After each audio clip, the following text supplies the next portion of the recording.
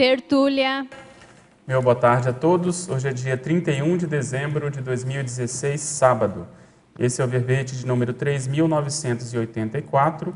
Ele tem cinco páginas, 45 logias e 10 máximos. O tema é Sinergismo, Retrocognição, Pré-Intermissiologia, dentro da especialidade Holocarmologia. Quem escreveu esse verbete é o professor Pedro Fernandes, que o Cláudio vai dar a, a síntese do. Professor Pedro currículo. Fernandes é graduado em Medicina, especialista em Radiologia e Diagnóstico por Imagem, brasileiro, natural de Brasília, Distrito Federal, voluntário da Conscienciologia desde 1991, docente da Conscienciologia desde 96, coautor dos livros Manual de Verbetrografia 2012, TENEPS Assistência Interdimensional, LUSTA 2015 e agora do recém-lançado Homolexicográficos 2016. Tenepsista desde 2002, Epicom desde novembro de 2005 e vale lembrar também que ele criou a IC Consecutivos, Associação Internacional de Pesquisas Seriaxiológicas e Holobiográficas. Obrigado. Então, sinergismo retrocognição pré-intermissiologia é o conjunto potencializador de ações holomnemônicas recíprocas interatuantes, simultâneas e crescentes entre a recordação de autoexperiências holobiográficas e a atual aceleração da história evolutiva pessoal e grupal em função do incremento dos acertos grupocármicos, das recins profundas e da motivação proexológica daí advindas, visando o maxi complexo e a futura liderança interassistencial na próxima intermissão. O holopensene pessoal da parapercepciologia interassistencial, a eliminação da patopensenidade, a depuração constante do materpensene pessoal, o holopensene pessoal da benigno pensenidade, o autodesassédio holopensênico em prol das demais consciências, a manutenção da holopensenidade rígida na cotidianidade, o fortalecimento diário do holopensene tarístico, o holopensene da reconciliação grupocármica, o holopensene do complexes, o holopensene da holocarmologia, o holopensene da holomaturologia. As ações cotidianas em prol da lucidez holomnemônica visando a autoqualificação interassistencial. O papel da memória na liderologia interassistencial intra e extrafísica, o reconhecimento da própria história evolutiva, trazendo frutos palpáveis à consciência intermissivista, os acertos grupocármicos familiares, profissionais e conscienciológicos, a importância do diálogo franco, da reflexão profunda e da assertividade acolhedora na cotidianidade diuturna, o fôlego pessoal ante os desafios propostos pela conscienciologia. Para a fatologia, nós temos a autolucidez atual quanto ao passado holobiográfico distante, qualificando o futuro intermissivo imediato. A paracognição quanto aos erros e acertos holocármicos, preparando os trabalhos extrafísicos na próxima intermissão. As raízes holobiográficas da profissão atual. O entrosamento consciente entre os tempos do curso intermissivo. As retrocognições assistidas, ampliando a autoconfiança parapsíquica os recursos pessoais para agilizar a recuperação de megacons, a autovivência do EV profilático por parte da Consim e da Conciex, o mapeamento teático da sinalético, do sinaléticograma pessoal.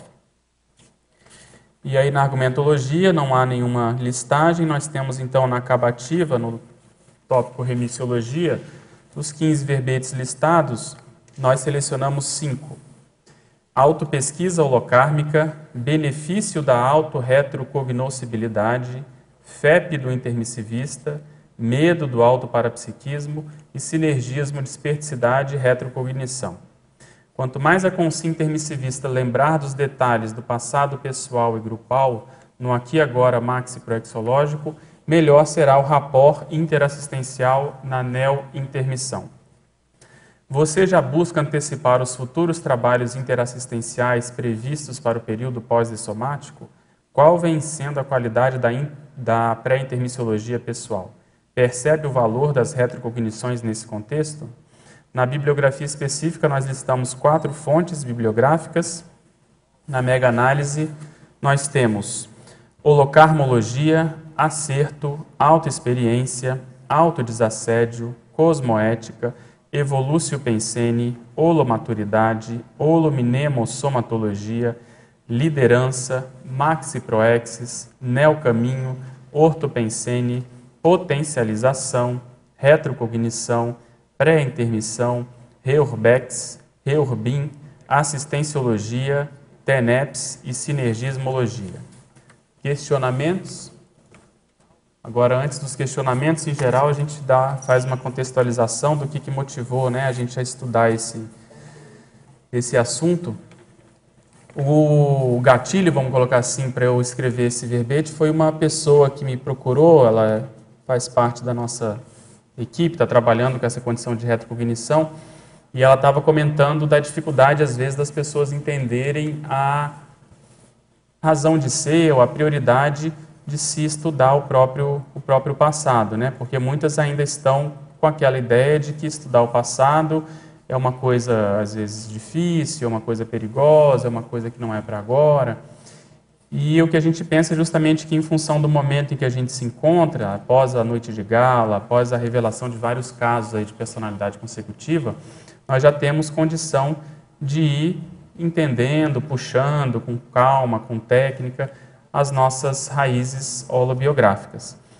E ainda mais, e aí vem o tema desse verbete, quando já foi comentado pelos amparadores, né, principalmente pelo evoluciólogo transmentor, o que, que nós vamos fazer quando nós dessomarmos. Né? Então, a pré-intermissiologia, pegando aqui o gancho da pensata com o professor Valdo, só não sei se todo mundo conhece esse conceito, principalmente os teletertulianos, o que, que é a pré-intermissiologia?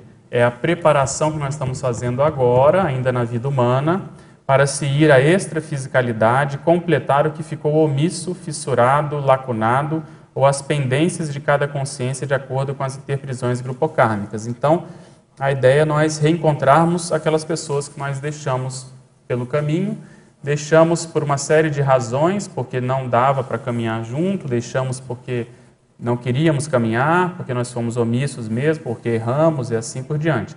Então, todo o fortalecimento que nós estamos fazendo a partir das ideias da conscienciologia, fortalecimento intraconsciencial, é justamente para poder rever essas consciências e poder ajudá-las a chegar onde nós estamos. Não significa que nós estamos muito distantes, mas em função do curso intermissivo, das ideias, das reciclagens que nós estamos fazendo, isso pode ter causado alguma diferença evolutiva. Então, vocês vão ver que na argumentologia o que eu bato bastante na tecla é justamente da gente enfrentar essa condição de estudar a nossa própria história e as pessoas com as quais a gente conviveu no passado. Enfatologia, página 12, final da quarta linha. Pode expandir a respeito da importância do diálogo franco, da reflexão profunda e da assertividade acolhedora na cotidianidade diuturna?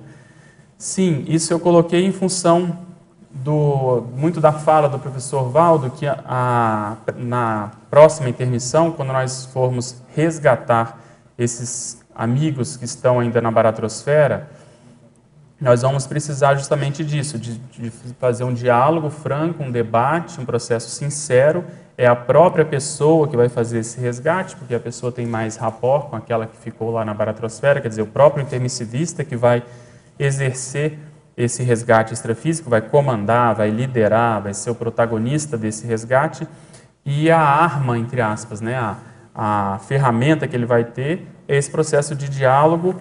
Ele vai ter que refletir bastante o que, que ele vai falar, como que ele vai dialogar, né, quais são as, os argumentos que ele vai utilizar para tirar essa consciência da baratrosfera. E essa assertividade é, acolhedora é exatamente isso. Você precisa ser assertivo e ao mesmo tempo ser acolhedor para que justamente você consiga conquistar a consciência e ela poder sair dali com, com você. Então, enfrentar essa realidade, nós temos chance todos os dias aqui na, na CCCI, no, na nossa profissão, no nosso dia a dia, porque todos nós passamos por situações que pedem isso, né? Em que a gente precisa, às vezes, chegar para uma pessoa e ser sincero e ser acolhedor, mas ao mesmo tempo ser duro, franco, e falar o que a gente acha que é o, que é o ideal. Então, nós podemos treinar isso desde já. Em Parafatologia, página 12, última frase. Pode explorar quanto à recomposição e à para-recomposição grupocármicas lúcidas realizadas de modo conjugado na intrafisicalidade de hoje, na extrafisicalidade de amanhã? Sim, veja, essa é, recomposição grupocármica, quanto maior o nosso nível de predisposição para ela, de abertismo, quanto mais a gente quiser entender, mais os amparadores vão trazer essas consciências para a gente poder fazer isso na TENEPS, ou através de projeções, ou nas dinâmicas.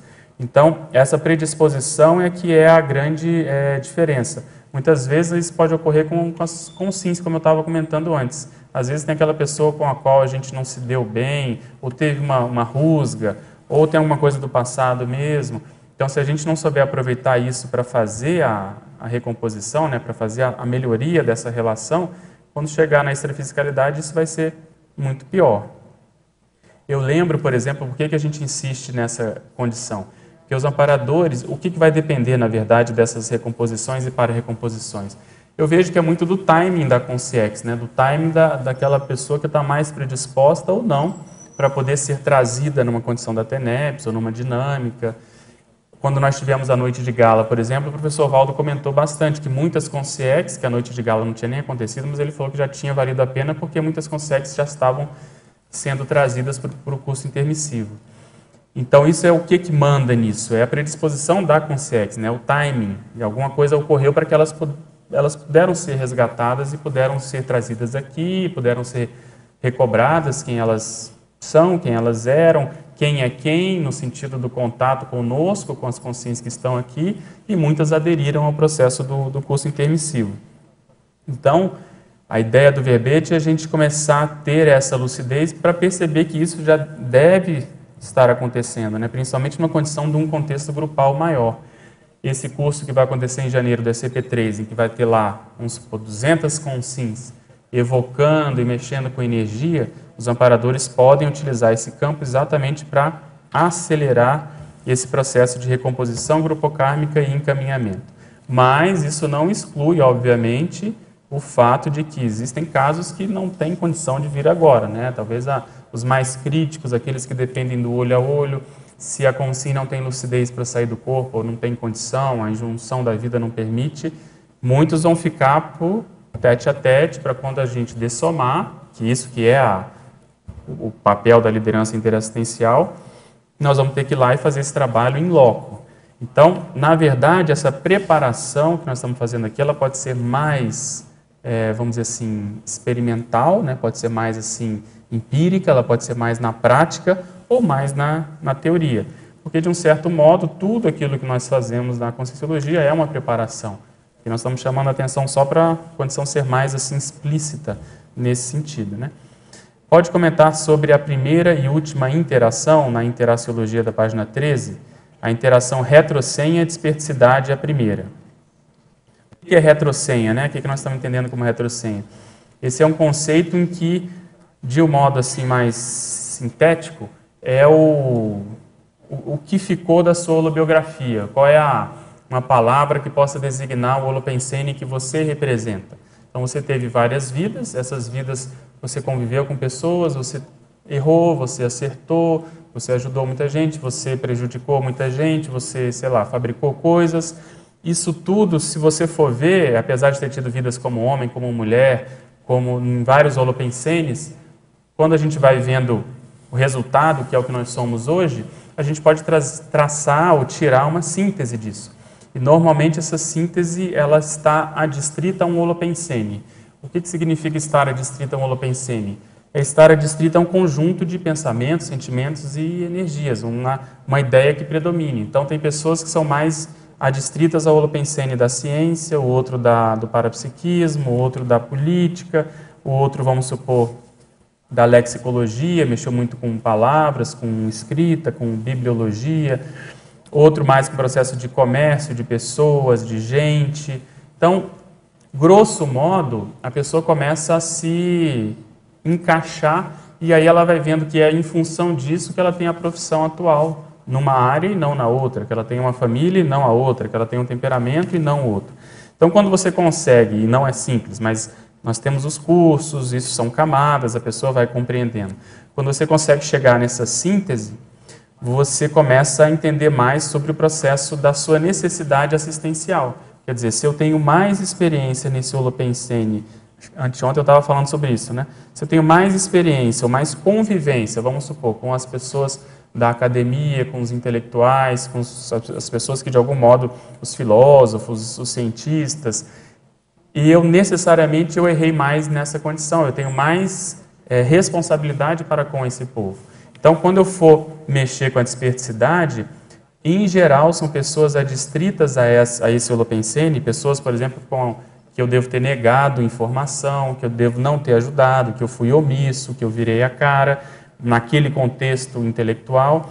Então, são essas pessoas que vão vir me cobrar, e aí a desperticidade ela começa a ganhar uma uma noção mais prática, porque aí você vai ver as suas fissuras, né, os nossos trafares, e aonde que a gente tem que solucionar essas condições para não sofrer mais essas é, influências, não sofrer com essas influências, porque as influências vão continuar, mas a gente não vai mais sofrer ou não vai mais ficar vulnerável.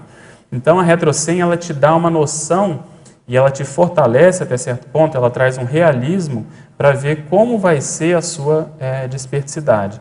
E todo esse esforço de atingir a desperticidade, de você ficar mais imune perante o assédio, de você não sofrer tanto, de você ter mais autodomínio emocional, é uma preparação para a próxima intermissão, para o próximo período intervidas, quando você vai, entre aspas, sofrer essa, essas cobranças de um modo mais explícito. Porque nós vamos tentar ajudar uma pessoa, quando ela recobrar quem nós somos, e nós também recobrarmos, há uma tendência, conforme cada caso, de vir essa, essa cobrança. Então, a, a desperticidade ajuda nesse processo para a gente não se envolver tanto emocionalmente, senão aí os dois vão ficar na baratrosfera, vão ser engolidos pelo holopensene. E também a interação é pré-intermissiologia, comitê de para é, recepção e equipex intermissiva. Essa interação, o que, que se passa? Nós estamos fazendo então um trabalho de preparação nessa vida humana, que é a pré-intermissiologia, quando nós dessomarmos, alguma consciência vai nos receber. Isso pode ser mais positivo ou pode ser mais é, negativo. Então, a, a, grande maioria das pessoas da humanidade são recebidas, em geral, por assediadores, né? pessoas que estão ainda no ciclo de interprisão grupocármica. Mas se nós já estamos querendo acertar, fazendo assistência, fazendo TENEPS, em geral, quem vai nos receber são amigos extrafísicos, são amparadores extrafísicos. Esses amparadores, em função do conhecimento que eles têm da nossa ficha, de, nos, de ter nos acompanhado, de uma série de condições, de ter tido vidas em conjunto, por exemplo, no passado, vão ser eles que vão, às vezes, nos dar ideia, nos encaminhar para o evoluciólogo, nos encaminhar para uma é, Comunex, e a partir dessa, desse diálogo, dessa vamos dizer, dessa reflexão, dessa ponderação, é que a, a liderança interassistencial ela vai ocorrer. Depois que esse processo da liderança ocorrer, isso mais assim, olhando na prática, em que os casos mais agudos vão ser vistos primeiro, né? hoje a gente estava no círculo debatendo os paradoxos da, da evolução, e foi debatida uma pensada do professor Waldo que fala exatamente isso. Na próxima intermissão, nós vamos enfrentar os casos mais críticos com relação ao nosso passado. Então, aquelas consciências que foram mais, que estão numa situação mais patológica, mais difícil. Então, depois que nós fizermos esse resgate, depois que der, que a coisa já acalmar, depois que a gente tiver um pouco mais assim de ou liberdade ou possibilidade de atuação extrafísica, é que a gente vai começar a pensar em compor ou até liderar uma equipex intermissiva. Essa equipex ela vai vir muito em função do rapport das consex entre si e da competência que elas têm para poder fazer determinados trabalhos. Né? A equipex, em geral, tem uma especialidade. Então, a equipex é uma equipe extrafísica de trabalho assistencial. Em paradoxologia, pode aprofundar o paradoxo da refratariedade acolhedora? Sim, é isso que eu estava comentando. Para a gente poder fazer assistência, a gente não pode se envolver com a doença. Então você vai lá, é igual um médico, por exemplo, um cirurgião, ele se protege, ele vai lá, coloca a mão na doença, no abscesso, no tumor que ele está operando, na inflamação, e depois ele sai, ele não pode ter se contaminado com isso. Então você acolhe, quer dizer, você enfrenta, você encara a doença, no caso vão ser essas consequências do passado, mas você não sai contaminado no sentido de sair com autoculpa, no sentido de tentar se defender, no sentido de tentar às vezes contar uma história que não foi bem assim. Enfim, você vai resolver aquele problema sem se defender no sentido do, do próprio ego, da própria imagem. Você vai se defender no sentido de não sair com a mesma doença que a pessoa é, está lá, que você está tentando ajudá-la. Né? Eu vi que alguém pegou o microfone, tudo bem? Tem alguém? Posso seguir? Quer falar? Eu fiquei com dúvida é, na pré-intermissiologia, na primeira página, no seguinte termo: a pré-intermissiologia é a preparação para si, a extrafisicalidade, completar o que ficou omisso. Eu estava refletindo que você vai preencher uma porcentagem do débito mais crítica, mas não, não necessariamente você vai completar, porque mesmo assim, mesmo que você é, deu o maior esforço em, em fazer uma remissão dessas dívidas, desses débitos, ainda, ainda haverão é, pendências, né? É, eu vejo que aqui o sentido de completar é aquilo que é mais, vamos dizer assim, mais crítico mesmo, mais necessário para você poder caminhar para as próximas é, etapas. Né? Então tem um nível de, de ancoragem, vamos dizer assim, tem, tem consciências que estão ficaram no passado e elas te prendem em função disso. Você não consegue caminhar para frente porque elas funcionam como uma âncora. Então, no sentido de completar, essa, essa leva mais séria, mais crítica, para você poder dar os próximos passos. Mas, obviamente, que não vai assim, resolver todo o problema, que acho que é isso que você está comentando. Né? É completar aquilo que, para a gente poder é, chegar no curso intermissivo, como foi um convite, havia mérito da nossa parte, né, algum nível de, de mérito para ter esse convite, mas o, vamos dizer assim, esse mérito não, é, não era total. A gente não estava já com toda essa bola para poder fazer. Então houve como se fosse assim um investimento, um empréstimo, foi fornecido para a gente uma condição, uma, foi feita uma aposta na nossa, na nossa, nosso, nos nossos trafores, na nossa ficha, para que a gente pudesse acelerar cada vez mais, mas no intuito de poder resgatar, é, voltar e resgatar essas pessoas. Então, completar, eu vejo, é, é aquilo que faltava, aquilo que seria o ideal para poder estar tá com a ficha um pouco mais favorável. Então, a gente parte do pressuposto que os intermissivistas têm uma ficha em torno de 50%, 51%, uns mais, outros menos. Então, essa, sabe, esse nível ali é que precisa estar tá um nível um pouco maior para completar isso. Uma pessoa já está na fase, por exemplo, da libertação. Ela já não tem mais tanta interprisão, a recomposição dela já está bem assentada, ela já está, por exemplo, no ciclo multiexistencial pessoal da atividade, quer dizer, o máximo mecanismo é que pode mandar nela, pode orientar, e não, ela já não está mais presa àquela vicissitude da evolução, da interprisão que manda, como se fosse um processo quase animal, sabe, de ter que ressomar em função de, de, de pendências do passado. Então, acho que é completar essa, esse alívio, essa condição Posso... mais mais Posso sério. só fazer uma colocação? Pode. É aquilo que ele já tem condições de fazer. Sim. E que ele foi omisso, ele não fez. Nesse sentido de completar, não é? Ele se omitiu, é já poderia ter feito e não fez. Ele Virou poderia a cara ter e feito, caminhou. ele tinha condições de fazer, mas negligenciou. Negligenciou. Se encrespou. E pode falar.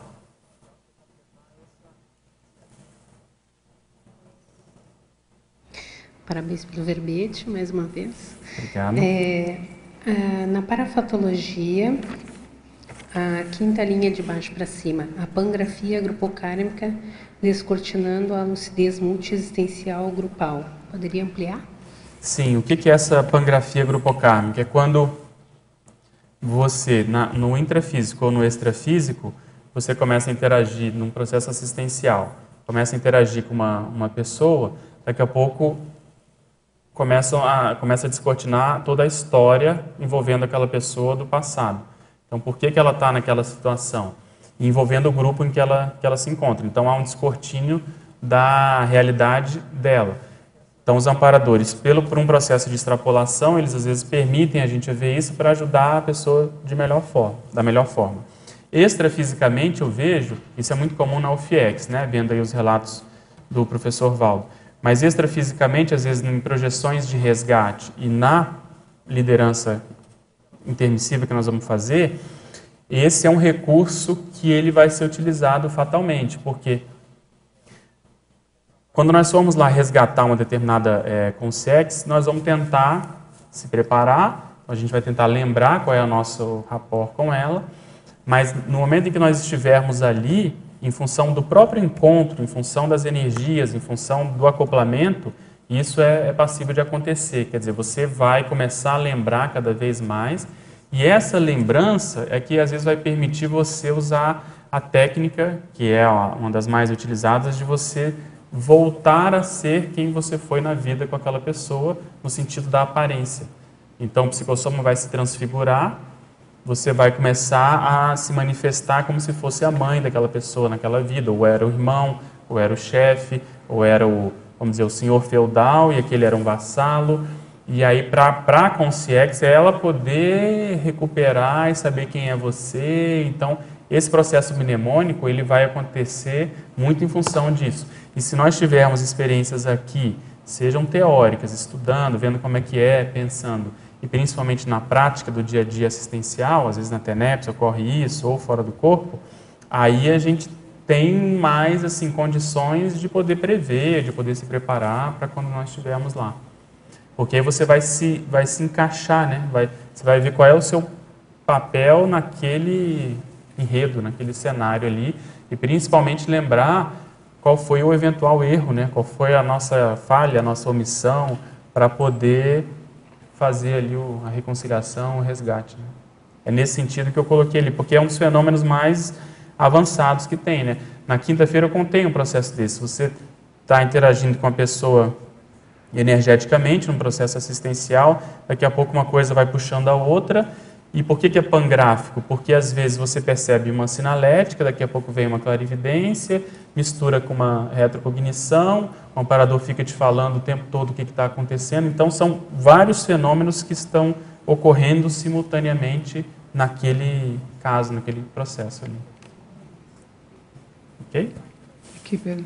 Pois não, Mãe.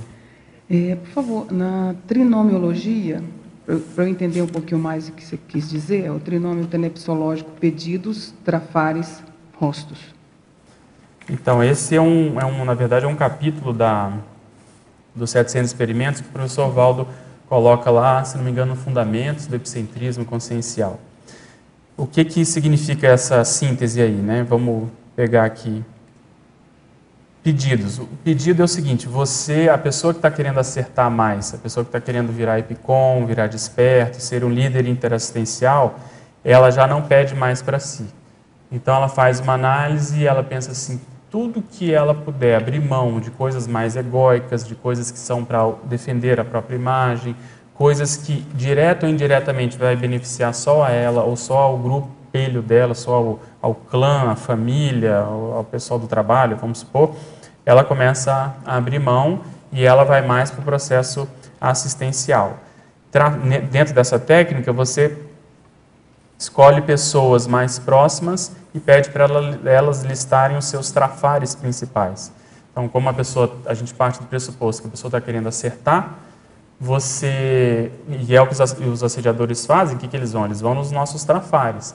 Então, antecipadamente, a pessoa já busca quem ela convive, afetos e desafetos, e fala, entrega uma folha em branco e fala, olha, escreve aqui, por favor, tudo que você acha que eu errei, ou que eu erro, que eu fui mal intencionado, anticosmoético, quais são os meus traços mais imaturos.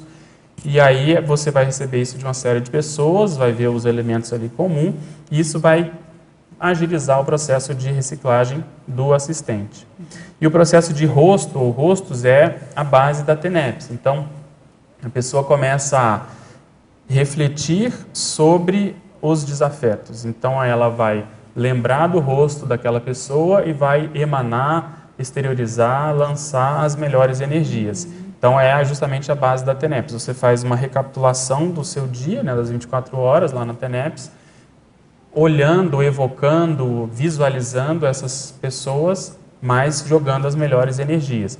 Então, quando isso é feito de um modo sincero, naquelas casos em que a gente realmente tem dificuldade, o extrafísico, vamos colocar assim, a extrafisicalidade, que significa as consciências, os amparadores, os assediadores, os guias cegos, de um lado e do outro, eles vão ver que a pessoa está sincera, né? que ela está querendo mudar. Principalmente se isso for mantido ao longo do, do tempo, que não é uma coisa assim de fogo de palha. Então, isso é o que mais desarma os assediadores, que é o que mais dá autoridade para a pessoa mostrar que ela está querendo mudar. Então, esse é um trinômio que, vamos dizer assim, embasa o processo assistencial parapsíquico, uhum. em função disso. Obrigada. Ok? Em fatologia, página 12, primeira linha. Poderia discorrer e exemplificar sobre as ações cotidianas em prol da lucidez holomnemônica visando a autoqualificação interassistencial? É isso que a gente estava comentando aqui. Então, extrafisicamente, o que vai mandar é o nível da nossa lucidez holomnemônica, quer dizer, o quanto que a gente vai lembrar daquele, daquela pessoa, daquela consex que vai ser resgatada. Então, se nós pudermos potencializar isso desde já, é o ideal. Então, você faz isso como?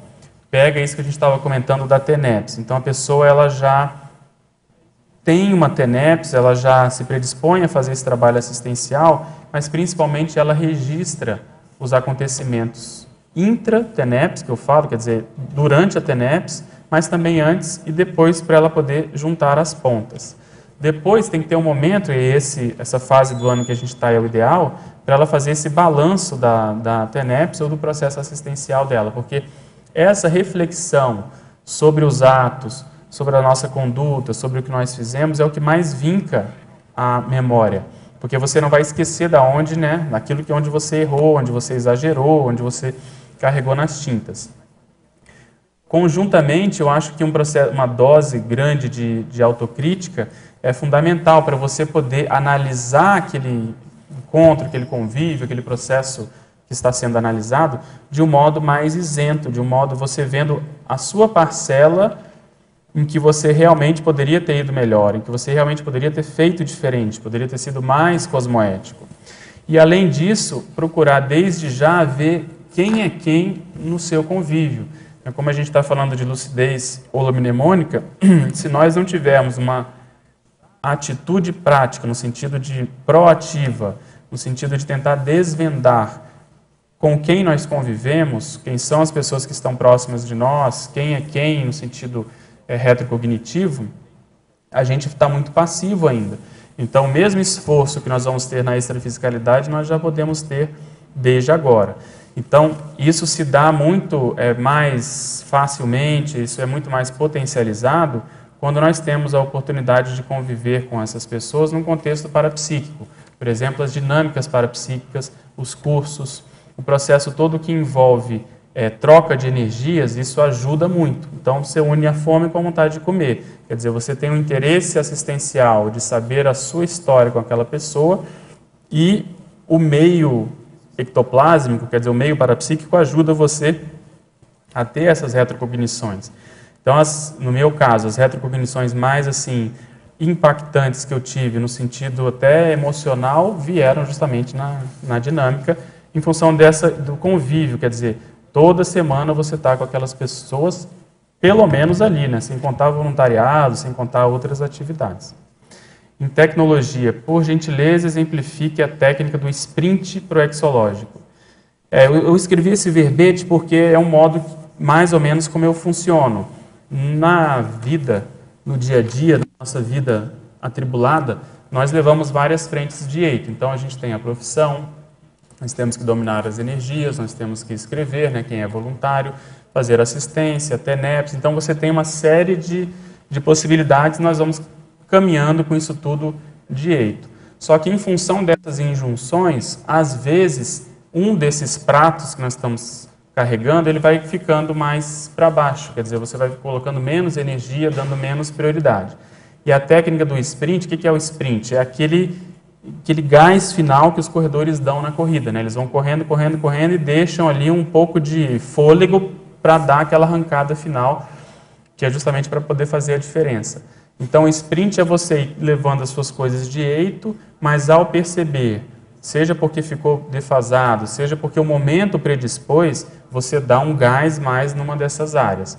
Então, eu, por exemplo, fiz isso quando eu percebi que eu já tinha muito tempo de conscienciologia e eu ainda não tinha preenchido o conscienciograma, por exemplo. E eu pensei, puxa, se eu dessomasse hoje sem ter preenchido o conscienciograma é uma coisa ridícula, porque toda a conscienciologia é baseada no conscienciograma, na autopesquisa. E a vida não me permitia, eu não priorizava isso. Até que quando essa ficha caiu, eu separei um prazo, eu fui lá na Conscius, eu fiz o recim, os recins, né, um e dois, e isso me ajudou a dar esse, esse gás. A mesma coisa o processo de escrita. A minha vida foi permitindo eu dar um, um, vamos dizer assim, um gás, dar uma atenção maior ao processo de escrita de verbetes. Na quinta-feira até li aqui quantos que eu escrevi nesses últimos anos porque você tem que aproveitar os ensejos, porque às vezes aquela janela de oportunidade não vai, não vai se abrir. A mesma coisa a desperticidade. A gente, eu priorizei lá no PROAD, estar lá, não foi fácil em função da minha indisponibilidade, mas você está querendo dar um gás naquilo. Então, é muito difícil levar tudo de eito com, mesma, né, com a mesma intensidade de atenção e, e produção, mas você sabendo manejar e controlar e gerenciar isso, às vezes essa técnica pode ajudar. Ao verbetógrafo, professor Pedro, em Fatologia, página 12, segunda linha. Sabemos bem da importância do papel da memória na liderologia interassistencial, intra e extrafísica. Quais são as ações e hábitos que podemos incrementar hoje para melhorar nossa memória? O uso de medicamentos tais quais ginkgo biloba é recomendável? Eu acho que em princípio não, só se a pessoa tiver realmente um déficit, aí tem que ver a. Eu acho que eu consultaria um neurologista, um médico especialista. A priori não, não utilizaria, porque a memória eu vejo muito em função de duas abordagens. Um é respeitar o processo somático, que é dormir bem, comer bem, a pessoa é, exercitar-se, fazer exercício físico. Então, você atender bem o funcionamento do corpo. O outro é aquilo que você pode fazer de caso pensado para melhorar a memória. Então, a gente sabe que a memória tem muita relação com o processo emocional, processo motivacional, processo de repetição, processo de reflexão. Então, o registro, aquilo que você vai parar para pensar, tudo que você queira gravar, registrar, que você não, não quer esquecer, você vai ativamente fazer, é, registrar isso, né? vai, vai potencializar a, a impregnação mnemônica. Então eu acho que depende muito desses dois, dessas duas abordagens, você respeitar o soma, né, o holossoma, e você fazer atividades mais assim práticas no sentido de registrar aquilo que você realmente quer registrar. Uma coisa que o professor Valdo fazia muito é evitar todo o lixo mental, lixo pensênico. Hoje com os, os iPhones da vida, né, a era da supercomunicação, a internet, a gente fica muito vulnerável a, essa, a esse lixo mnemônico. Então, você saber tirar esses excessos também ajuda justamente a, a ter uma memória mais funcional. Em Fatologia, página 12, linhas 9 e 10.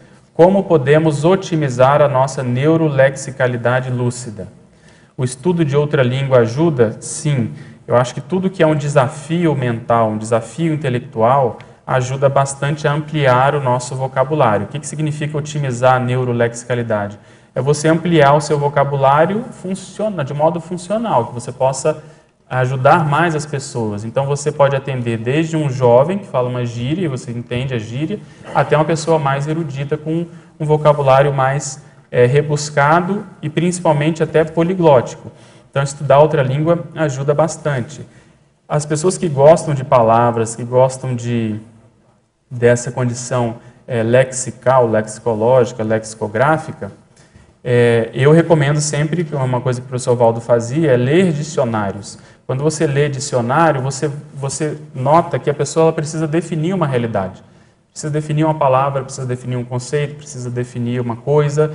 E aí você vê quais foram as palavras que ela escolheu, se aquelas palavras elas estão claras, se não é uma definição, por exemplo, redundante, uma definição que, que remete a uma coisa que não, na verdade não explica, ela vai para um sinônimo.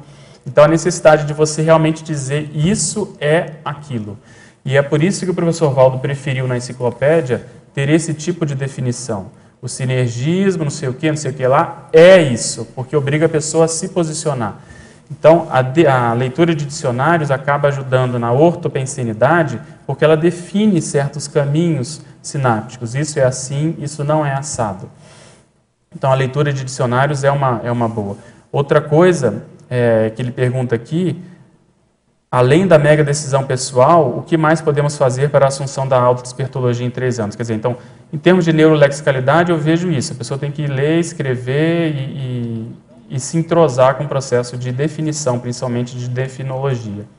Uma coisa que eu até estou devendo um capítulo lá para o pessoal da leitura lúcida sobre ler dicionários, mas o que eu falei na aula e é o que eu, que eu pretendo escrever sobre ler dicionários. As, a maioria não vê a necessidade, ou não vê a razão de ser, de, não é consultar dicionário, nós estamos falando de ler dicionário. Não vê essa necessidade porque não escreve. Então, a gente sabe que quanto mais a gente lê, né, melhor a gente fala, né, porque você vai ampliando o seu vocabulário. Mas o pulo do gato é você escrever mais, é você inverter isso. Então, quando você tem a necessidade de escrever uma ideia, você está com uma ideia, uma vivência, uma inspiração, e você precisa plasmar no papel, você vai ter a carência de palavras. Você vai ver que, às vezes, você, você vai falar palavras repetidas, você vai ver que as suas ideias elas, elas ficam limitadas, porque são palavras que você já conhece. Então aí você vê a necessidade de ampliar o seu vocabulário, aí nasce essa motivação de expandir a sua cognição. Essa cognição pode ser tanto na língua, por exemplo, ler dicionários de português, ler o Sacone, ler o Wise, ler o Aurélio, ou pode ser numa determinada área. Então, a pessoa está escrevendo sobre história, ela vai ler um dicionário temático de história.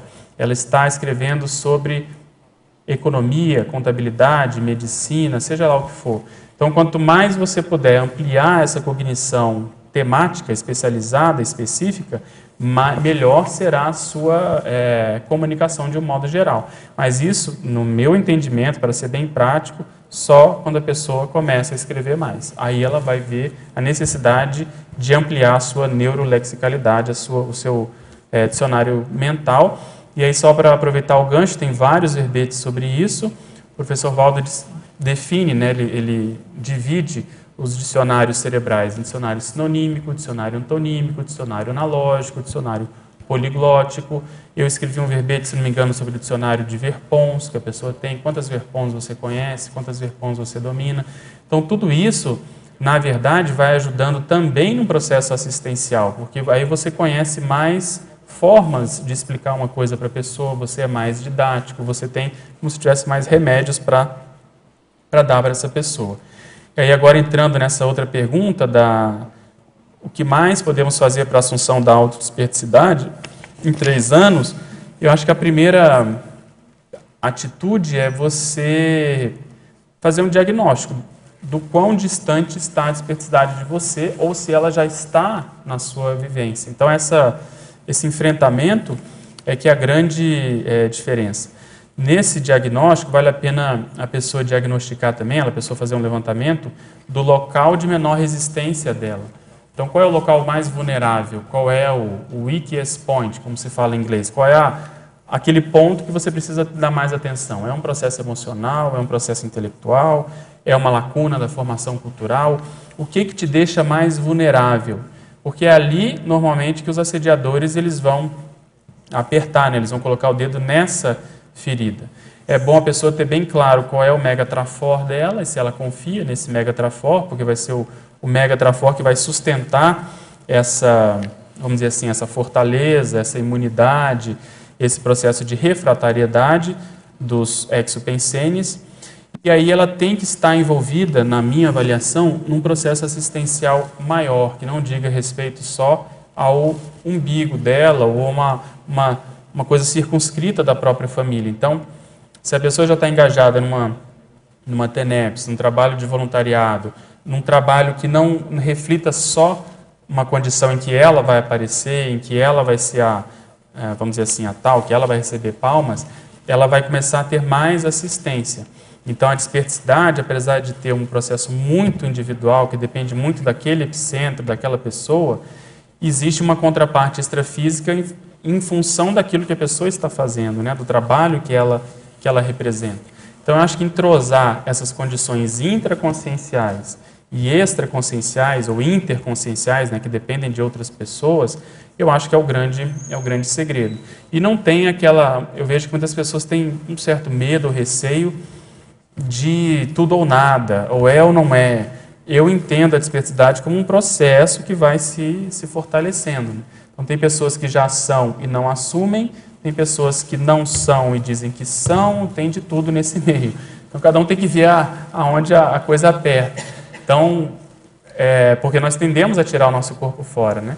Então, eu acho que o mais sério é enfrentar, ver em que nível está e buscar ajuda, buscar pessoas que estejam estudando isso. Agora acabou de ter um curso de esperticidade aqui no, no CAEC, foi o curso em que eu mais tive extrapolação, que foram os cursos com o professor Moacir, as extrapolações, os extrapolacionistas mais avançados que eu tive, foi justamente nesse, nesse curso. Então você procura pessoas que estejam estudando isso, por quê? Qual que é a, vamos dizer assim, o segredo do sucesso?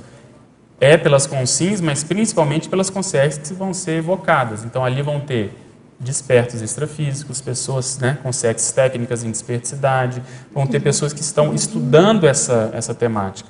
E ao você fazer um curso desse, como o próprio PROAD, que é o Programa de Aceleração da Desperticidade, você às vezes vai ter ideias sobre o próprio funcionamento que você não teria em outro lugar, ou que seria mais difícil. Né? Então eu vejo que para assumir a desperticidade é levar mais a sério e arregaçar as mangas naquilo que puder, a pessoa puder fazer. Né?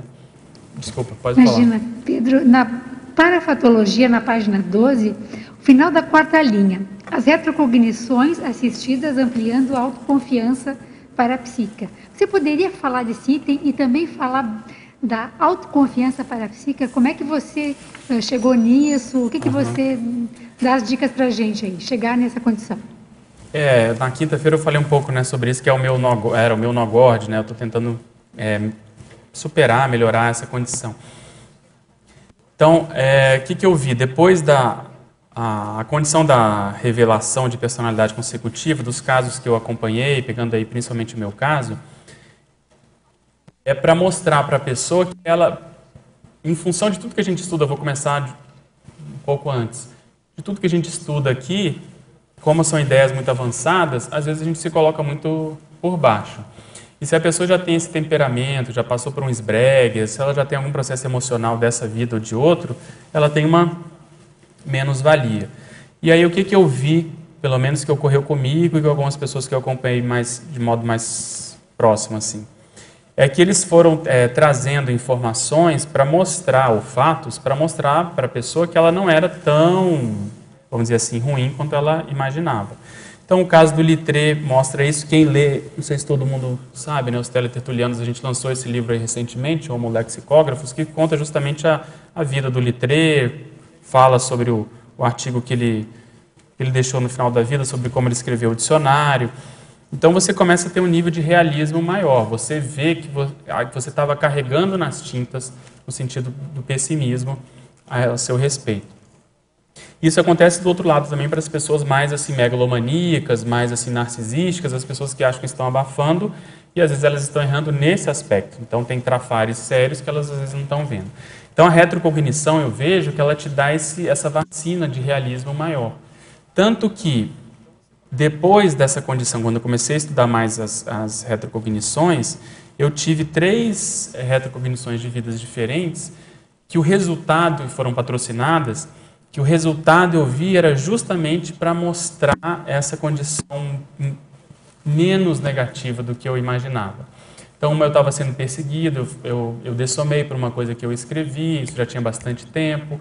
Então, a ideia foi me mostrar que já tem um tempo que eu estou tentando pelo menos acertar, ou pelo menos ser perseguido. Do mesmo modo que o Litré foi perseguido aqui pelo, pela igreja, nessa outra vida era um processo de, de monarquia eu vi uma vida em que eu estava num contexto lá de uma espécie de monge franciscano, alguma coisa assim, em que paradoxalmente eu estava no final da vida, me senti muito bem, como se estivesse numa euforia, como se estivesse num nível de complexo. Então, é um pouco para tirar algum nível de autoculpa que ficou de alguma informação que eu tive.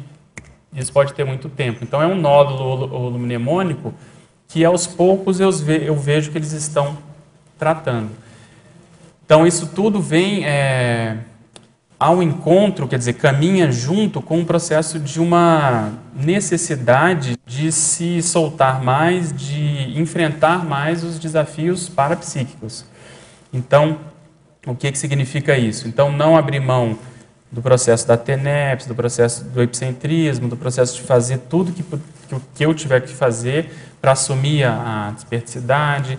Então, quando vem o professor Valdo, por exemplo, e ele, ele fala do meu processo de desperticidade, isso me, deixa desconfortável, porque me deixou desconfortável, porque eu, eu, eu, achava que era uma coisa realmente distante. Então, eu assumi a minha condição no, lá no conselho, no epicentrismo, mas essa condição da desperticidade eu achava que realmente estava distante. Mas isso me fez pensar e, às vezes, reconhecer trafores, reconhecer é, um processo, talvez um, um, uma condição que eu acho que é o que vale mais nisso tudo, que é um processo assistencial, que às vezes não estava dando bola, sabe? Você levar mais a sério certas coisas que você faz e que você estava menosprezando, que é a nossa tendência, né? Aquilo que a gente faz de um modo mais tranquilo, mais assim, aquele trafor mais, entre aspas, comum para você, mas você está mais acostumado, você não valoriza, você fala, ah, todo mundo faz isso.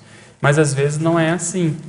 Então, uma das coisas que as pessoas me perguntam, né, ah, da vida que você está estudando aí do, do Litre, que você percebeu, o que que te, vamos dizer assim, o que que te mais te marcou, o que, que mais você gostou, o que, que mais te chamou a atenção? O que mais me chamou a atenção foi justamente ele ter feito assistência voluntária lá na, na vila onde ele, ele morava, de madrugada, de noite, sem necessariamente ter o processo da medicina formal. Não era médico, era um processo voluntário. Então, essa predisposição, apesar de não poder, de não ter tempo, de estar escrevendo o dicionário, é que talvez isso seja o mais sério para embasar a, a.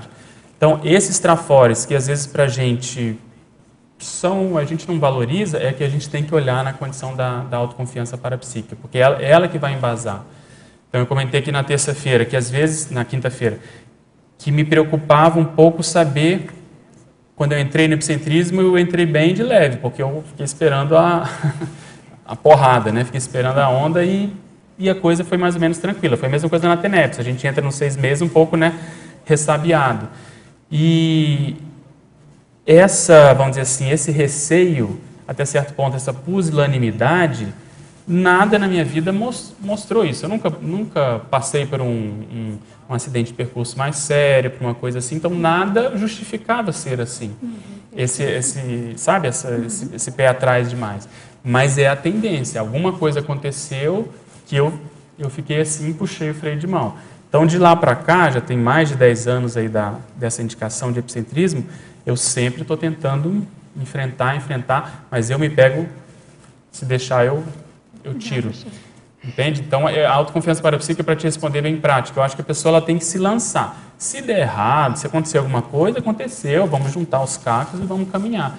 Mas o duro é a gente ficar sofrendo por antecipação e não se, sabe, não se doar. A gente fica um pouco faz, mas não faz. E às vezes não ter, né, por não ter esse protagonismo, tentar pelo menos, não ter o feedback que vai confirmar uma série de, de vivências que você diz, opa, então isso aqui que eu percebi, que eu falei, que eu associei, enfim, que veio, isso uh, está valendo, ou pelo menos foi uma vivência de várias outras pessoas. Então, acho que Exatamente. talvez essa, essa falta de autoconfiança nossa, assim, de de, de ser mais assertivo, protagonista, Exatamente. acho que está travando. É, Vê, é, é, é um pouco meu caso também. Ver que você faz diferença, porque uhum. às vezes aquela experiência que você tem as pessoas não têm, a cognição, às vezes, uma coisa que a pessoa leu.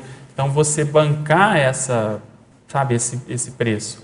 E hoje eu vejo muito associado a um processo de, de posicionamento mesmo, porque às vezes é, se torna uma coisa um pouco chata você ficar falando, você ficar, entendeu? Mostrando e, e, e dando contra. Então, se a gente se preocupa muito com a, né, com a opinião pública ou com o que vão dizer, ou se a pessoa muito, é, com a imagem, com a pessoa é nossa amiga, se a gente não faz aquela tares que a gente estava comentando na quinta, tares horizontal, no bom sentido, não é para dar lição de moral em ninguém, mas ser sincero naquilo que você está percebendo, nós vamos ter dificuldade de encontrar as pessoas amanhã extrafisicamente, que são os amigos e que a gente até às vezes deve mais, e poder bancar, né, ter um nível de autoconfiança para falar: errei, mas agora não interessa, agora nós temos que sair daqui. Agora nós temos que melhorar essa condição, porque a tendência da vítima, né, da, das, pessoa que está na vitimização, é ela ficar cobrando, cobrando, cobrando e querer que a pessoa se sinta mal, que ela se sinta culpada e ali as duas vão acabar no buraco, vão acabar na, ficando na baratrosfera. Então, esse discernimento de você reconhecer o erro, mas não sucumbir emocionalmente, é que é a coisa mais é, refinada, vamos chamar assim. Porque você tem que reconhecer que aquilo foi no passado, que o, o erro ele não, não pode assediar a própria pessoa. Ele tem, a pessoa tem que refletir, ela tem que fazer a profilaxia. Como o professor Valdo comentava, a pessoa tem que se auto-imperdoar. Eu não vou passar a mão na minha cabeça. Mas isso não significa se assediar, né? Se auto-assediar. Quer dizer, eu não vou pegar um chicote agora e vou ficar me chicoteando em função de, dos erros que a gente cometeu. Então, essa higiene consciencial de saber lidar com os próprios erros, eu vejo que isso vem muito quando a, a pessoa se sente bem quando ela faz assistência, porque ela, ela já está mais assim predisposta, ela já ajudou tantas pessoas que ela sabe que ela está ajudando. Então, o erro que ela cometeu com um, com outro, com determinado grupo, ela já coloca nessa conta e ela já está pagando. É diferente da pessoa que faz pouca assistência e ela fica, é, ela não se sente à vontade quando ela é cobrada, porque ela, no fundo ela vê que ela não está fazendo o que ela precisava fazer. Então isso é, é muito sério. Por isso que quanto mais a gente puder se envolver realmente em processos assistenciais, independente se a pessoa deve ou não, ela não é difícil a gente saber o quanto, né, que a gente deve. Então eu, eu comento muito isso no, no contexto do Holopensene da monarquia. Então quando a gente no começo eu ajudei a Laura, estava junto, eu fiz lá alguns campos, acho que nos dois primeiros cursos, e as pessoas me perguntavam, mas você acha que você deve muito à monarquia, que você errou muito? Eu falei, eu acho que eu devo muito, independente de ter tantas retrocognições assim, independente do, de como está a minha ficha, é uma oportunidade que surgiu e na dúvida eu vou tentar dar a minha contribuição por, em função daquilo que eu estava comentando. Se abriu essa janela de oportunidade, eu tinha é, predisposição ou principalmente disponibilidade na época, depois não tive mais, mas eu procurei dar aquilo do meu melhor. E a gente não ficar selecionando a assistência. Ah, não, monarquia não tem nada a ver com isso. Ou como a outra falou, não, a monarquia, eu fui muito beneficiada pela monarquia, então eu não posso meter o pau na monarquia. Ah, não, religião eu não tenho nada a ver com isso. E essa, esse raciocínio é que ele é um pouco truncado, porque no fundo tudo acaba se misturando, né? Então a gente podendo ser um pouco mais assim large em termos assistenciais, isso, no fundo, aumenta a nossa autoconfiança, porque a gente está dando, sinceramente, o melhor para aquele grupo, né? para aquelas consciências. Ok? Quer falar?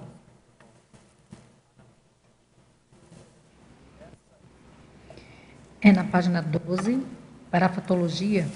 Você poderia explanar mais? É a última linha. A recomposição e a para-recomposição grupocármicas lúcidas e realizadas de modo conjugado na intrafisicalidade de hoje e na extrafisicalidade de amanhã. Então, eu vejo que esse trabalho que nós vamos fazer lá na pré-intermissiologia, ele de algum modo tem relação com o que a gente faz hoje. Porque as consciências, ela, existe uma rede, né?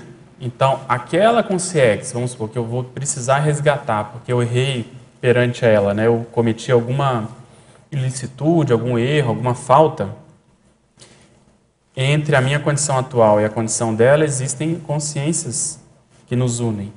Então, se existem hoje pessoas mais próximas, que estão mais próximas, mais assim predispostas a serem atendidas, os amparadores já vão trazer essas consciências. Então, essas consciências, vamos supor, vão para o curso intermissivo.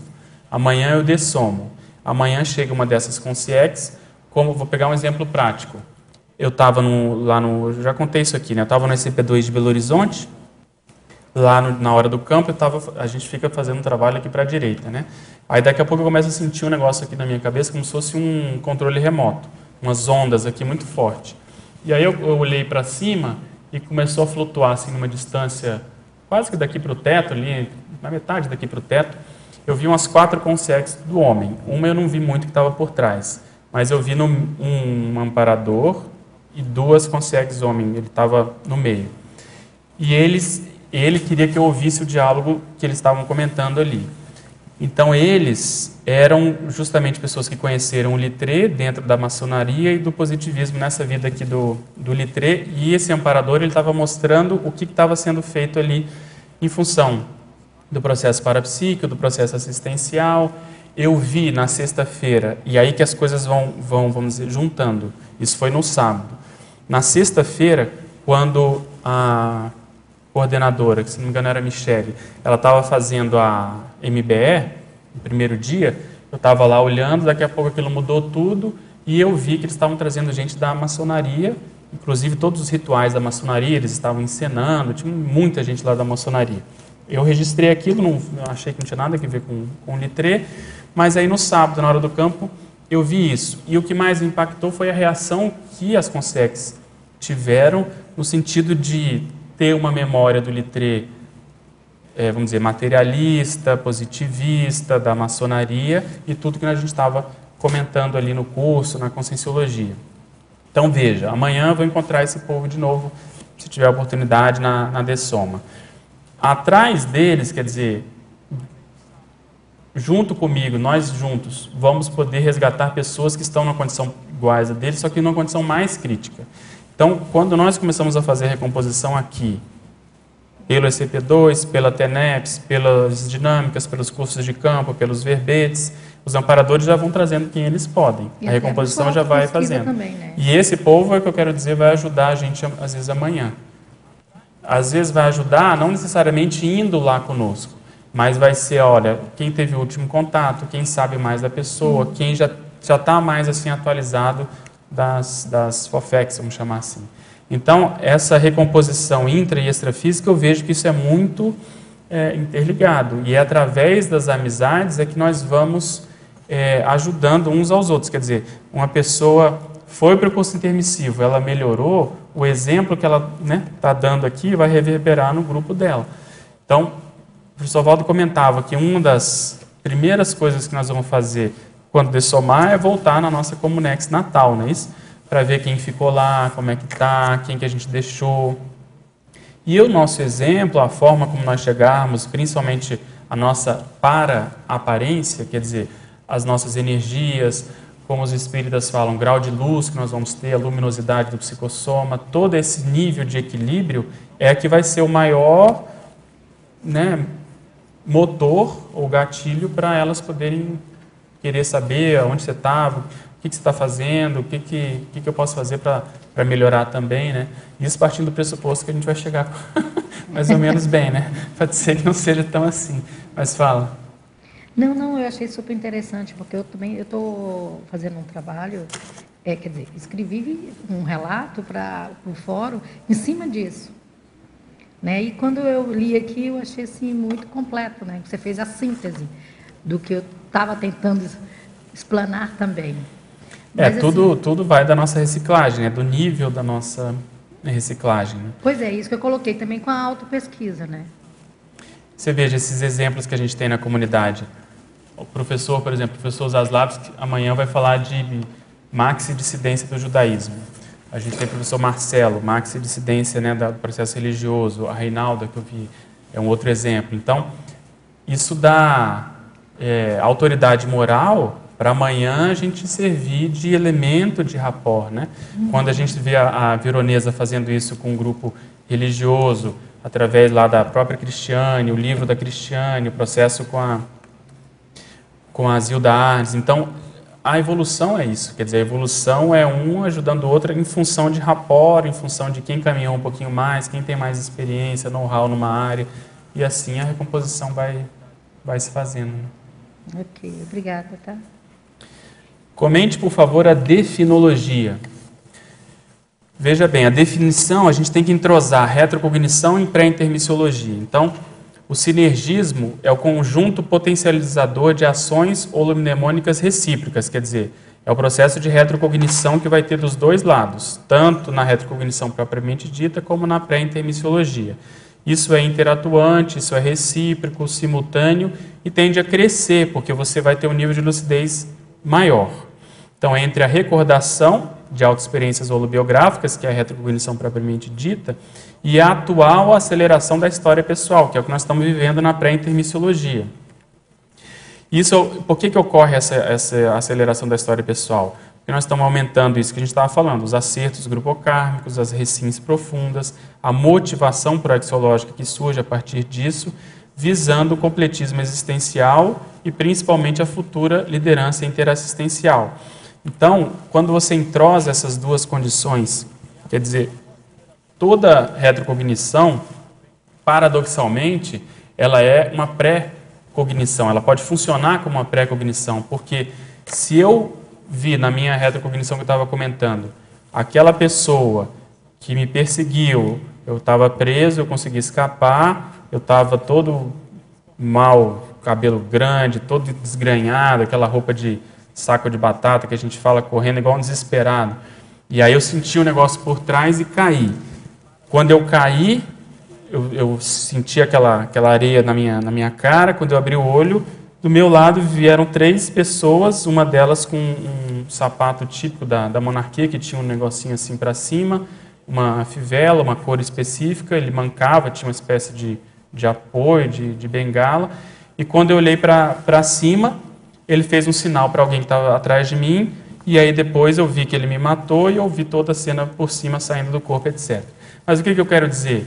Quando eu tenho isso, eu vendo quem é essa pessoa hoje, eu já sei qual é o meu futuro próximo. Quer dizer, eu preciso ajudar essa pessoa, ver se, que nível que eu tenho de, de emoção perante a ela, se eu tive raiva, se eu tive decepção, se eu tive frustração, o que, que eu posso fazer para ajudar essa pessoa, principalmente essa pessoa estando hoje aqui. Então, a retrocognição, ela te, ela te empurra para um processo de presente passado, querendo ou não. Às vezes, você não consegue localizar, isso acontece, quer dizer, pode ser que eu não sabesse quem é essa pessoa hoje, mas mais cedo ou mais tarde você vai acabar localizando e essa necessidade de atuação vai ocorrer. Em Pensinologia, página 12, quarta linha, pode discorrer sobre o autodesassédio holopensênico em prol das demais consciências? Se não me engano, você falou sobre isso, quer dizer, faxina holopensênico, não é isso? Quer dizer, quanto mais a gente melhora a nossa pensenidade, a gente faz essas reciclagens, melhor será o nosso holopensene. O que é o holopensene? É o resultado justamente dessa pensenidade. Nós vamos pensenizando o tempo todo, isso cria um campo de energias, pode ser mais equilibrado ou menos equilibrado. Então, se você já, como a gente comentou antes, já introjetou, já percebeu o valor da assistencialidade, você começa a melhorar o seu padrão holopensênico e isso tende a atingir positivamente outras pessoas que estão próximas de você, com SINs e com CIEX. Fatologia, página 12, final da quinta linha. Pode explanar sobre o fôlego pessoal ante os desafios propostos pela conscienciologia? Sim, isso eu vejo uma coisa que não é simples, né? A gente conseguir levar tudo de jeito aí das propostas da conscienciologia. Tem o verbete que o professor Valdo é, escreveu, que eu acho que sintetiza isso, que ele, chama, ele chamou de whole pack, quer dizer, o pacote completo da conscienciologia, whole pack conscienciológico. Então, isso significa o quê? Para a gente não dar um desconto, para a gente não fazer um negocinho, para a gente tentar levar a coisa como ela realmente é que, que significa isso? O que, que a Conscienciologia propõe? Ela propõe um antidogmatismo, então ela propõe que a TARES é mais prioritária que a TACOM, ela propõe que o mental soma é mais prioritário que o, o psicossoma, ela propõe a TENEPS, que é uma tarefa para a vida inteira. Isso tudo são desafios horríveis. O processo da INVEX, por exemplo, de você desde cedo planejar a sua vida, não casar, você não ter filhos. Isso tudo é muito antipático. Então, a pessoa que consegue realmente levar isso sem dar desconto, sem se autocorromper, ela está se preparando melhor para a pré-intermissiologia. A própria manutenção do voluntariado, do duplismo, você enfrentar o processo afetivo sexual de uma maneira mais madura, o processo do universalismo, tudo isso faz com que a conscienciologia seja muito difícil. Então, a gente conseguir bancar isso, e eu vejo que tem uma lógica muito grande, porque, na verdade, como nós estamos na primeira vida pós-curso intermissivo, quer dizer, o primeiro curso intermissivo que nós fizemos, é uma vida ainda muito de convalescência, é uma vida em que nós estamos tentando entender essas ideias, tentando colocar em prática, é um paradigma novo, muitos de nós estamos fazendo maxi-dissidência de outros holopensenes, de outros paradigmas. Isso tudo, então, cada um tem um ritmo. Tem pessoas que se prepararam melhor, tem pessoas que já vêm de trás com essa predisposição, outras estão patinando mais em função desses, dessas ideias.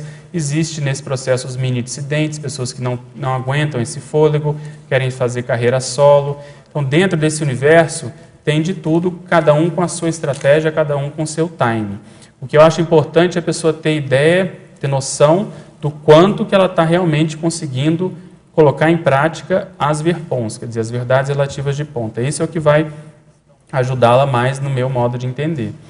Fatologia, página 12, sétima linha. Pode esclarecer o autoexemplarismo evolutivo na intrafisicalidade enquanto voucher intermissivo avançado? Tem relação com o anterior, quer dizer, quanto mais a gente conseguir colocar em prática, dar o nosso exemplo, no nosso nível, não significa que a pessoa tem que virar serenona de hoje para amanhã, mas naquele nível, naquela faixa evolutiva, ela ser o mais coerente possível, ela ser o mais sincera, ela fazer o dever de casa, mais isso vai fazer com que ela tenha uma entrada na, na extrafisicalidade de um modo mais tranquilo. Quer dizer, o voucher, o que, que é? Uma permissão, né? uma, é um nada consta, é uma possibilidade de você poder é, entrar em certos contextos, porque as próprias energias, o fato de você ter feito o dever de casa é o que vai te conduzir para essa, essa condição. E não é porque é um processo de que alguém vai avaliar, a própria pessoa vai se sentir bem.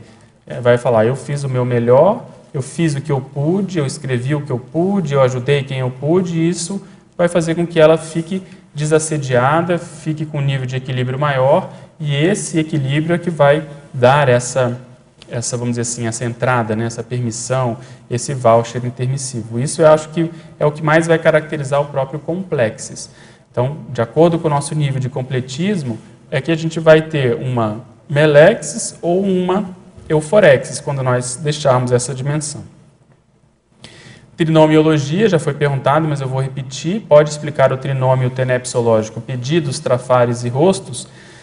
Pedidos é você ver tudo que você ainda pede muito para si e acabar com isso o mais rápido possível. Quer dizer, o quanto que o seu egoísmo, que o seu egão, que o seu umbigão ainda se manifesta no dia a dia. Isso pode ser mais explícito ou mais implícito, que às vezes indiretamente a gente acaba chamando atenção para a nossa própria pessoa. Então, a lucidez com relação a isso ajuda bastante. E extrafisicamente está todo mundo vendo que, na verdade, às vezes a intenção da pessoa é uma ou outra, né? É só aparecer ou, na verdade, é ajudar.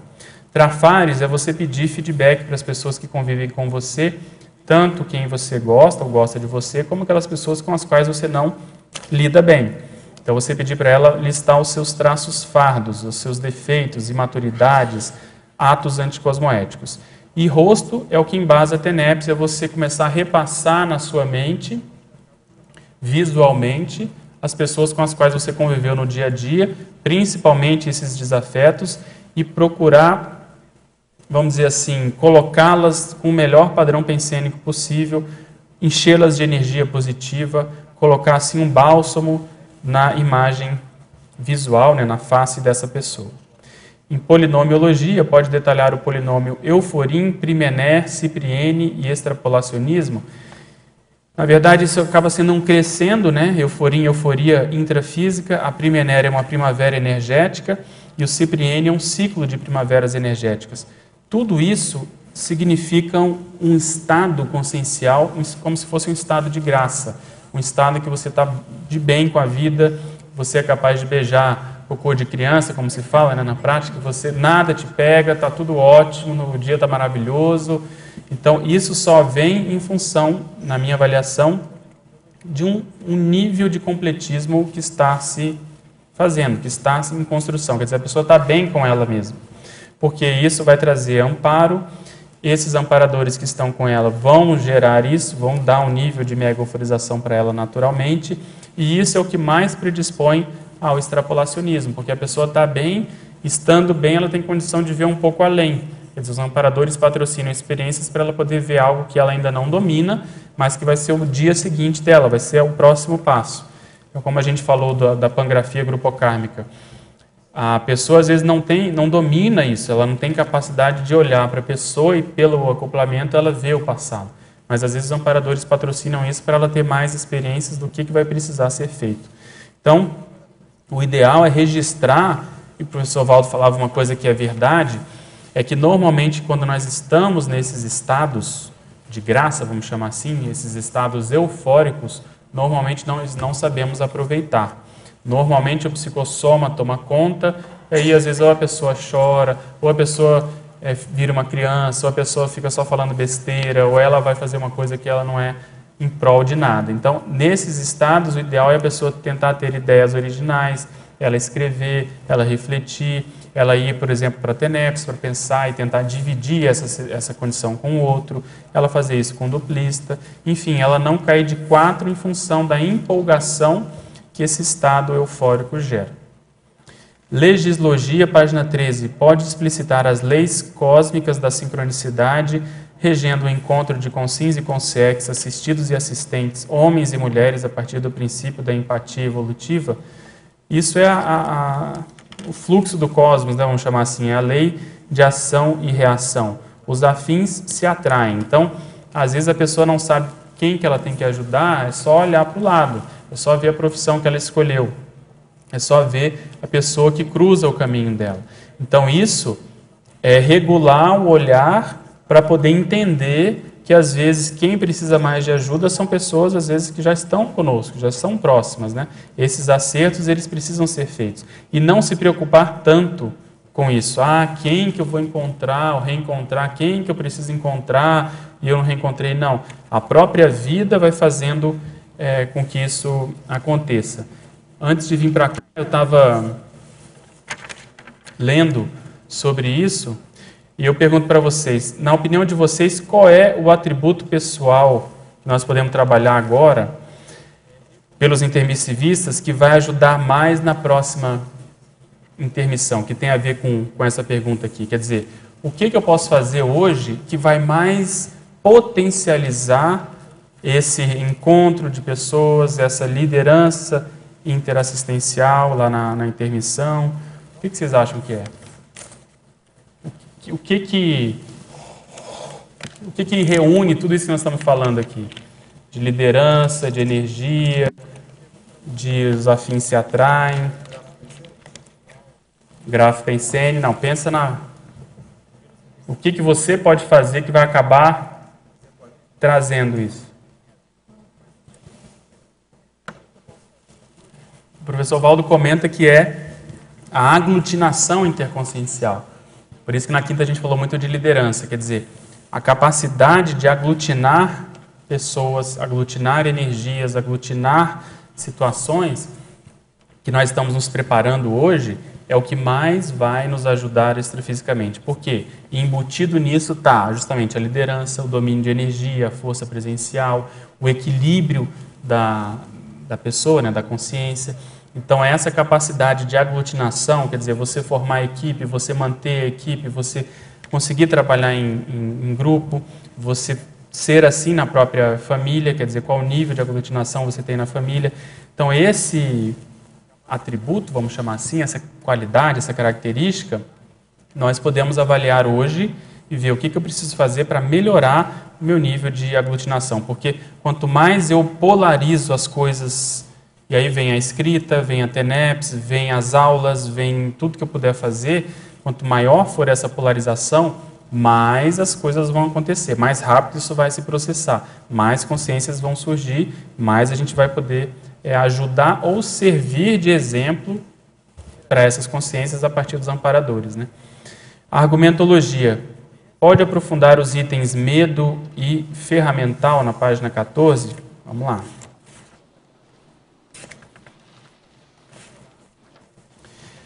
Medo. Apesar de admitir tal premissa na teoria, muitos intermissivistas, homens ou mulheres, ainda torcem o nariz e não enfrentam os meandros da própria memória, tendo-se como hipótese ser o medo a principal emoção estagnadora. No contexto da conscienciologia, cabe aos intermissivistas reconhecer e assumir a vasta gama de técnicas conscienciológicas disponíveis ao modo do EV, da sinalética e da TENEPS, a fim de contrapor-se ao autoassédio vigente e à eventual pressão assediadora dos credores serexológicos.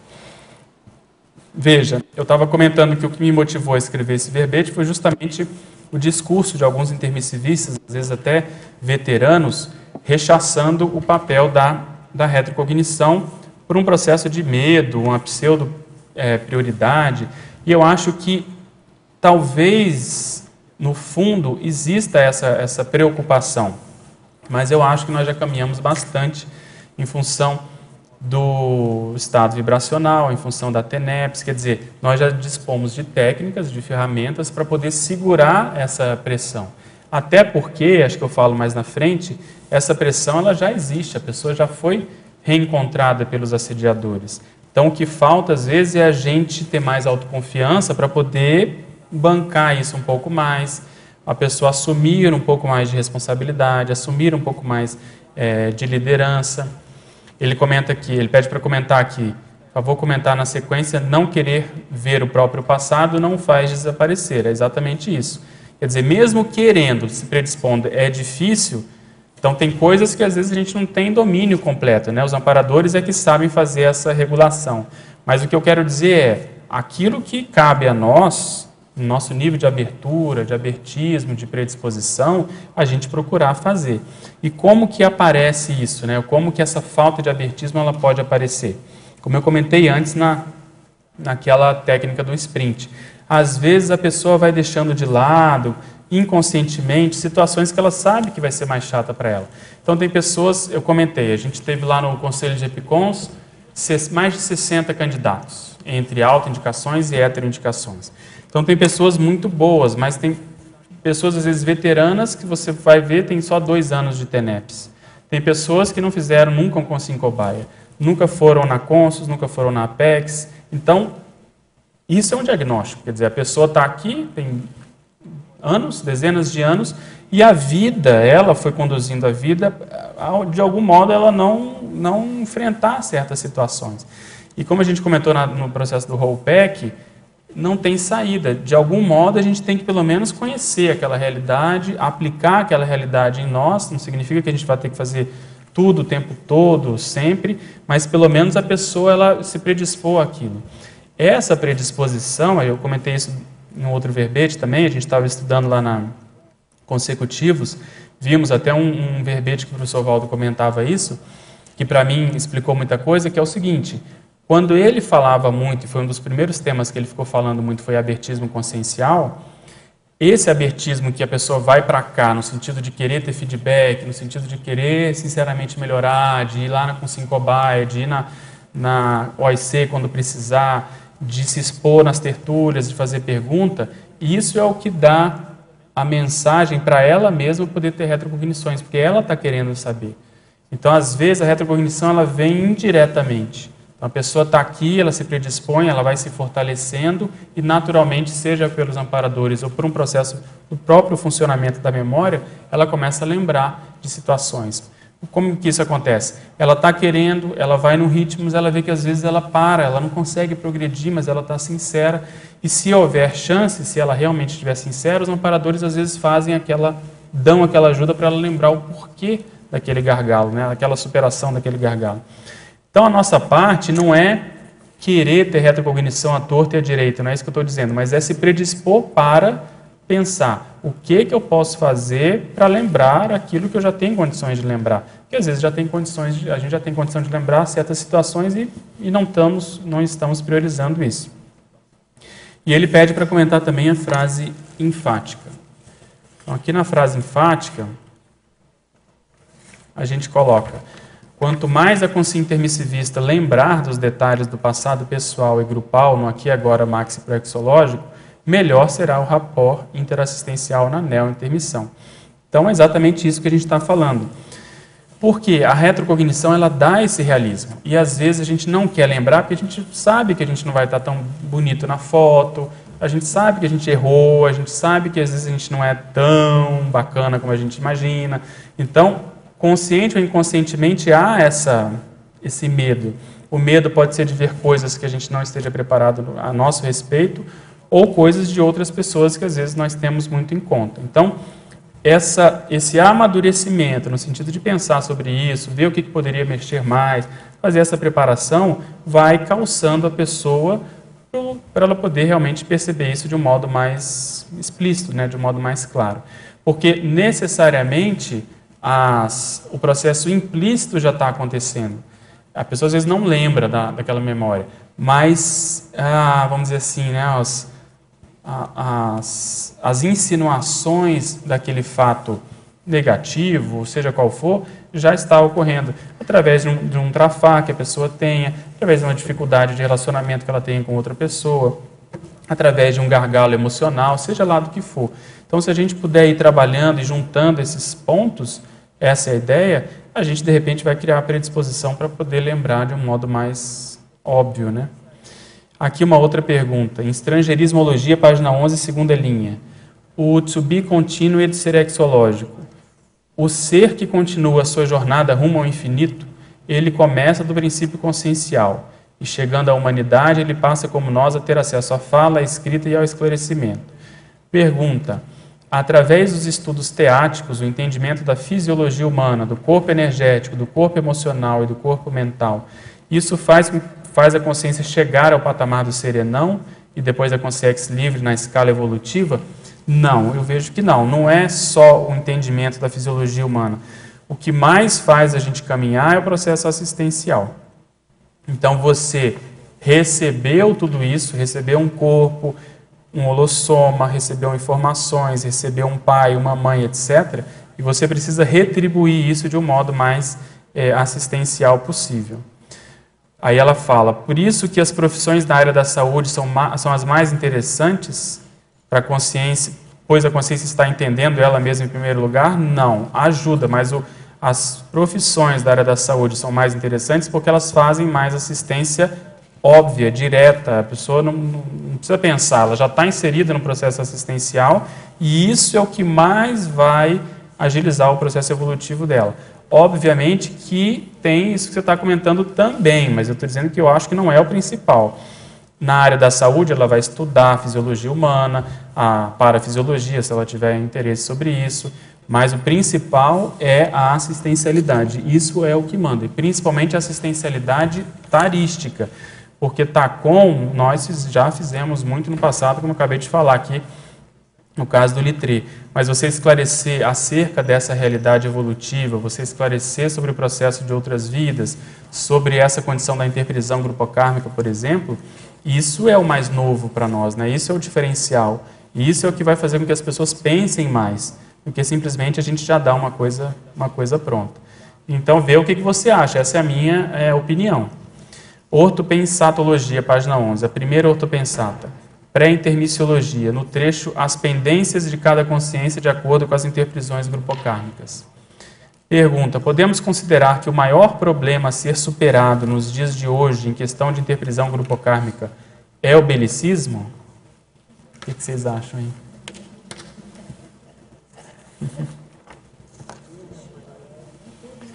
Aí depende do referencial, né? Acho que vai depender de cada caso, né? Se a gente talvez a gente pudesse ter essa essa ideia nos dias de hoje, o que mais assim, com certeza o processo bélico é um fator agravante, né, muito agravante do processo da interprisão grupocármica.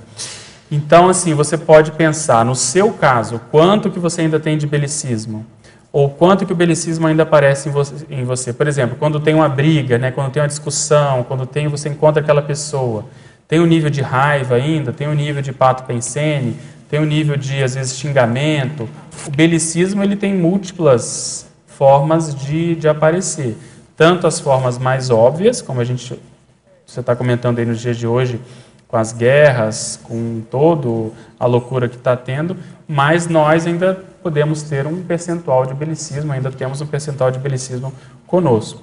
Puxando esse, esse fio da meada do nosso nível de belicismo, a gente vai ter uma noção da nossa interprisão. Vou te dar um exemplo bem prático. Se você pegar o livro Homo Reurbanizatus, o professor Valdo traz uma listagem de 100 tipos de cons réus. Cons réus que têm problema, vamos supor, com álcool, com processo mais bélico mesmo em si, com processo de pedofilia, com processo 100 tipos. Então, você estudando o seu belicismo, às vezes você vai ver que esse belicismo seu tem mais rapport ou ele é advindo, ou ele está no mesmo holopensene de um desses 100 tipos de com os réus. Com os réus da jogatina, por exemplo, do jogo, da ludopatia, seja lá do que for. Então, a partir disso, você vai perceber que você hoje é nada mais é do que o resultado daquela consréu, no sentido seguinte: se você voltar no tempo, você, eu, todo mundo, nós éramos desse tipo de consréu. Então, cabe a nós estudarmos as consréus e vermos quais são aquelas que nós temos mais responsabilidades. Então, é só olhar a sua vida e olhar a minha, olhar, por exemplo, o nosso porão consciencial, a fase da, da adolescência, e a gente vai começar a ver para com quem a gente tem mais responsabilidade. E isso é muito é, interessante porque é uma coisa prática e é uma antecipação daquilo que a gente vai ver na, na próxima intermissão. Às vezes, aquela consciência que a gente vai encontrar, vamos pegar o caso do, do belicismo.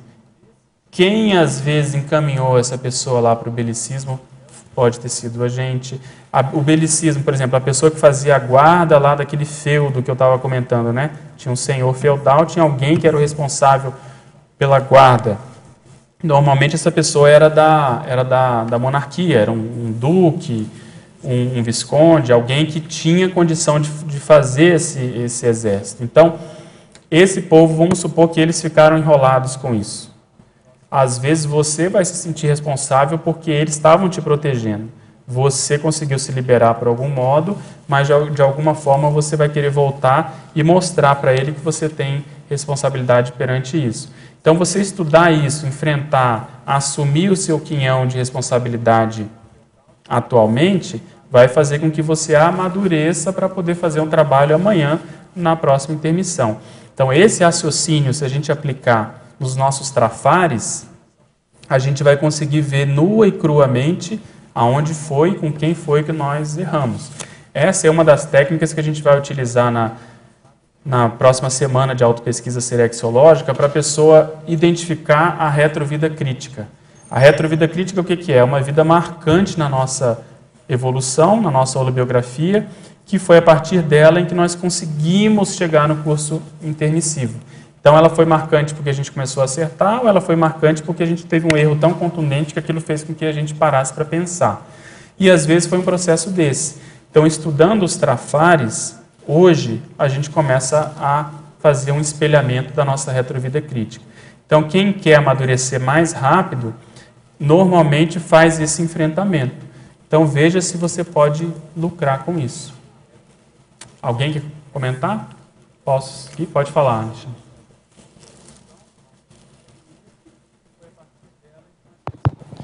É, você colocou aí a questão da, do treinamento para a intermissiologia, justamente o epicentrismo, a aglutinação, trabalho em grupo. Só que o professor Valdo bateu muito de que vai ser um trabalho solitário. Isso não é um paradoxo? Como é que explica isso? Eu, eu é e não é. Eu acho que o que o que não, né, não é, não, não se torna, é você fazer isso aqui ao máximo para você se fortalecer para nossa autoconfiança aumentar. E aí sim lá poder ir sozinho e fazer o, o, trabalho. Então, quanto mais a gente puder lidar com o processo grupal aqui, mais a gente vai poder entender as consciências, ver o tempo delas, ter a paciência, estudar essas técnicas. Enfim, você se colocar em situações em que você vai aumentar o seu, a, sua, a sua inteligência existencial, vamos colocar assim. E chegando lá, você vai sentir um pouco mais forte para falar: não, deixa comigo.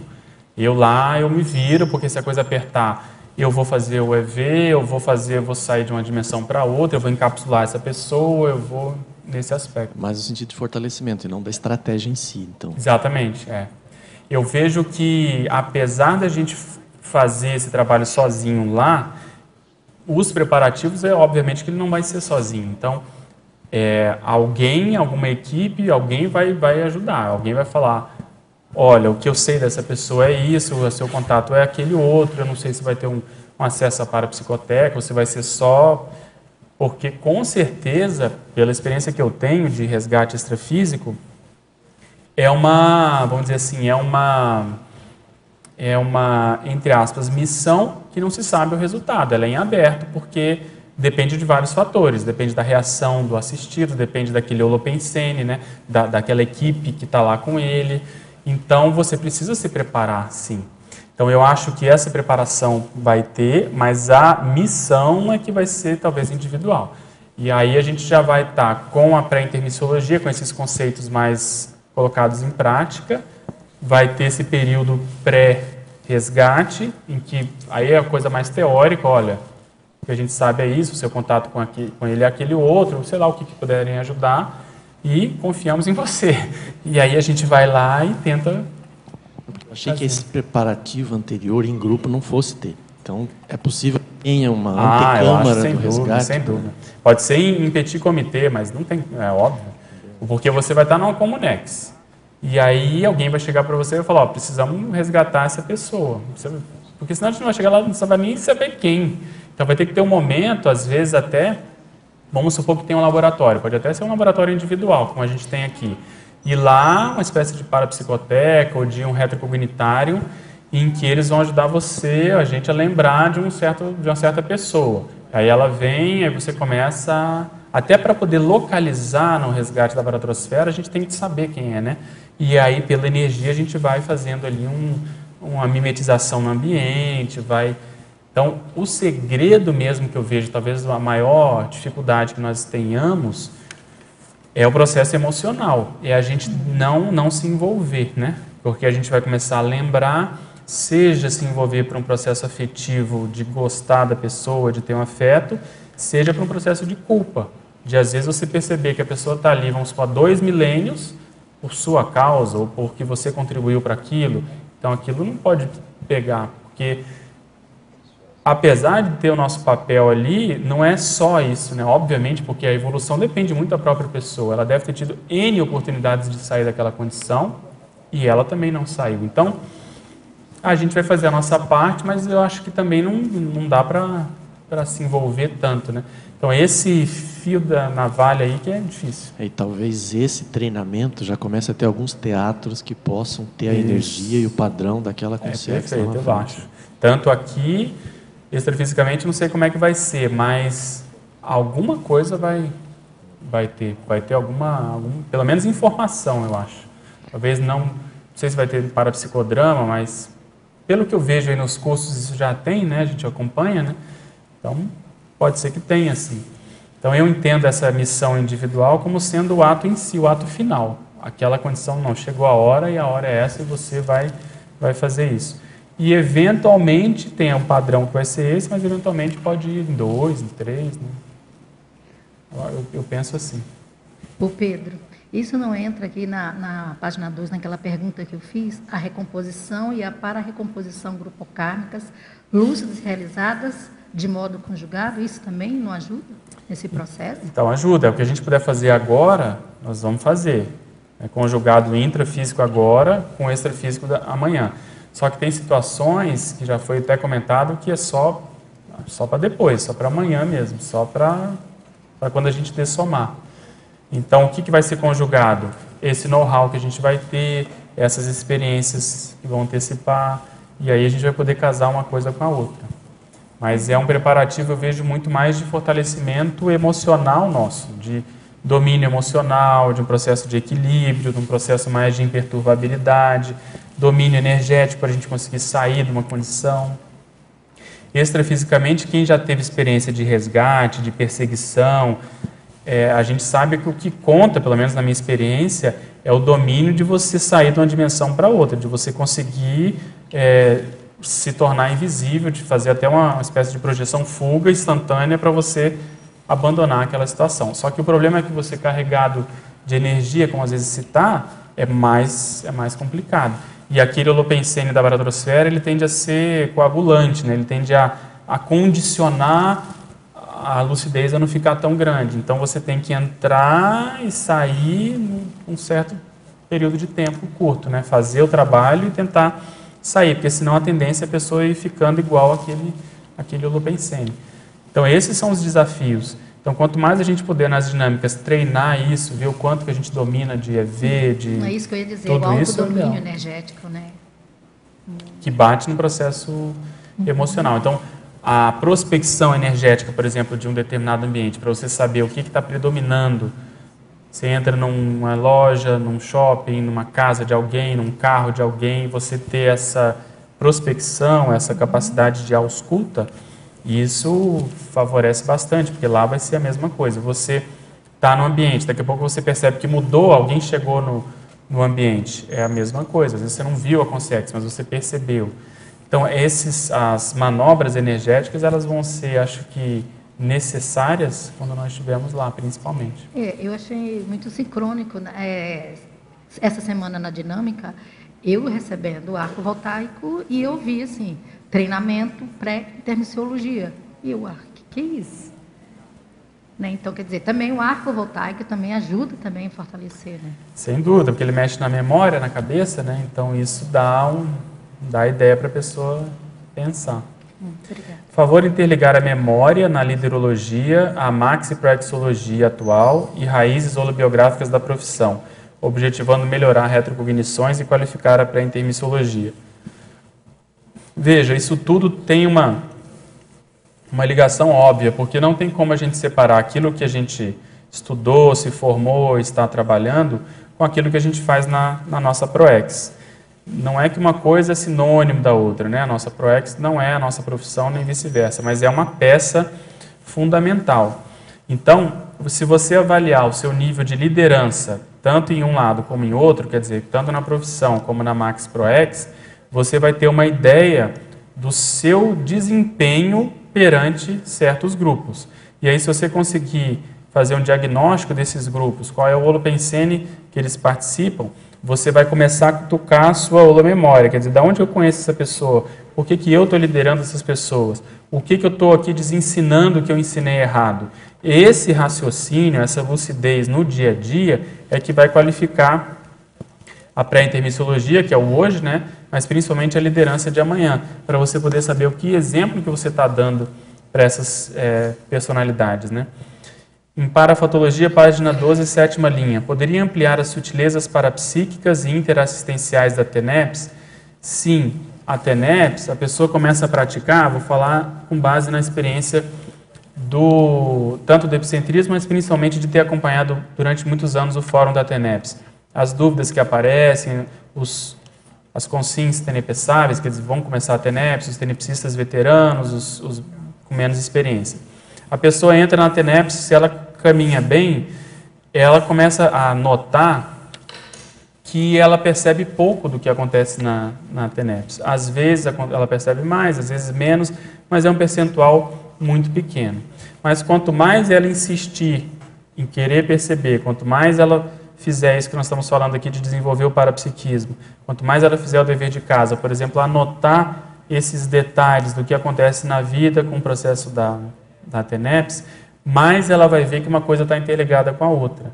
Então, ela vai perceber que às vezes o amparador da TENEPS vai aparecer num contexto profissional ou num contexto fora da TENEPS, porque uma coisa justamente está interconectada com a outra.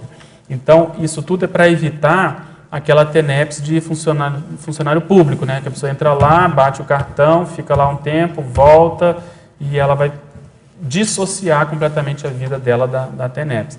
Então, isso tudo tem que ser entrosado e a TENEPS tem que comandar o processo da própria vida humana. E, finalmente, página 14, poderia falar sobre a exemplologia?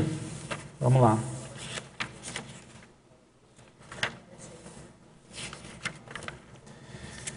Sinergismo, retrocognição, pré-intermissiologia precoce, a potencialização entre as lembranças intermissivas e retrobiográficas do inversor, homem ou mulher, e a preparação para a futura liderança interassistencial na próxima intermissão. Então veja, se a gente pega os inversores, hoje uma pessoa jovem, e ela já admite essa realidade toda, ela já vai se preparar para a TENEPS com uma idade um pouco mais precoce. Então ela vai ter mais assim tempo praticando a TENEPS. Se ela conseguir entender que quanto mais ela se modificar, melhorar, ela fizer o processo da reciclagem, mais ela vai se tornar um exemplo para as consins e consciex, mais ela vai estar potencializando essa pré-intermissiologia. Quando ela chegar na idade adulta, principalmente na terceira, quarta idade, a tendência ela ter chance de ter um nível de maturidade maior.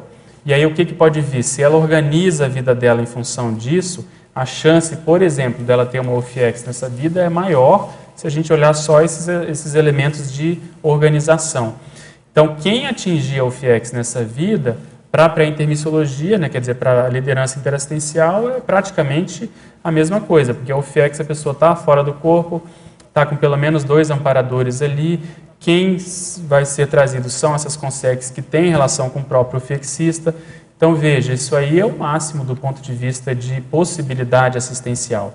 E o reciclante é o tardio, quer dizer, a pessoa já percebeu essa necessidade, pode atingir o FEX do mesmo modo, mas a dificuldade ela é um pouco maior porque a pessoa, em geral, ela tem mais compromissos humanos.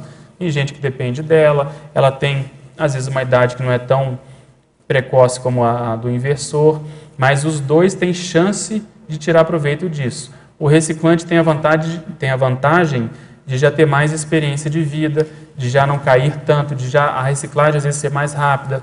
O inversor às vezes ele patina muito para mudar um determinado comportamento, às vezes ele é engolido pela própria sociedade humana. Então, de um lado ou de outro, eu acho que existe chance da pessoa tirar partido dessa experiência que ela está tendo atualmente, principalmente se ela puder é, priorizar o processo retrocognitivo. Então, o inversor que já tem mais retrocognições, a chance dele amadurecer é muito maior, né? Ele amadurecer mais rapidamente. E a mesma coisa o, o reciclante. Né? Ok? Alguém mais quer comentar alguma coisa? Certo?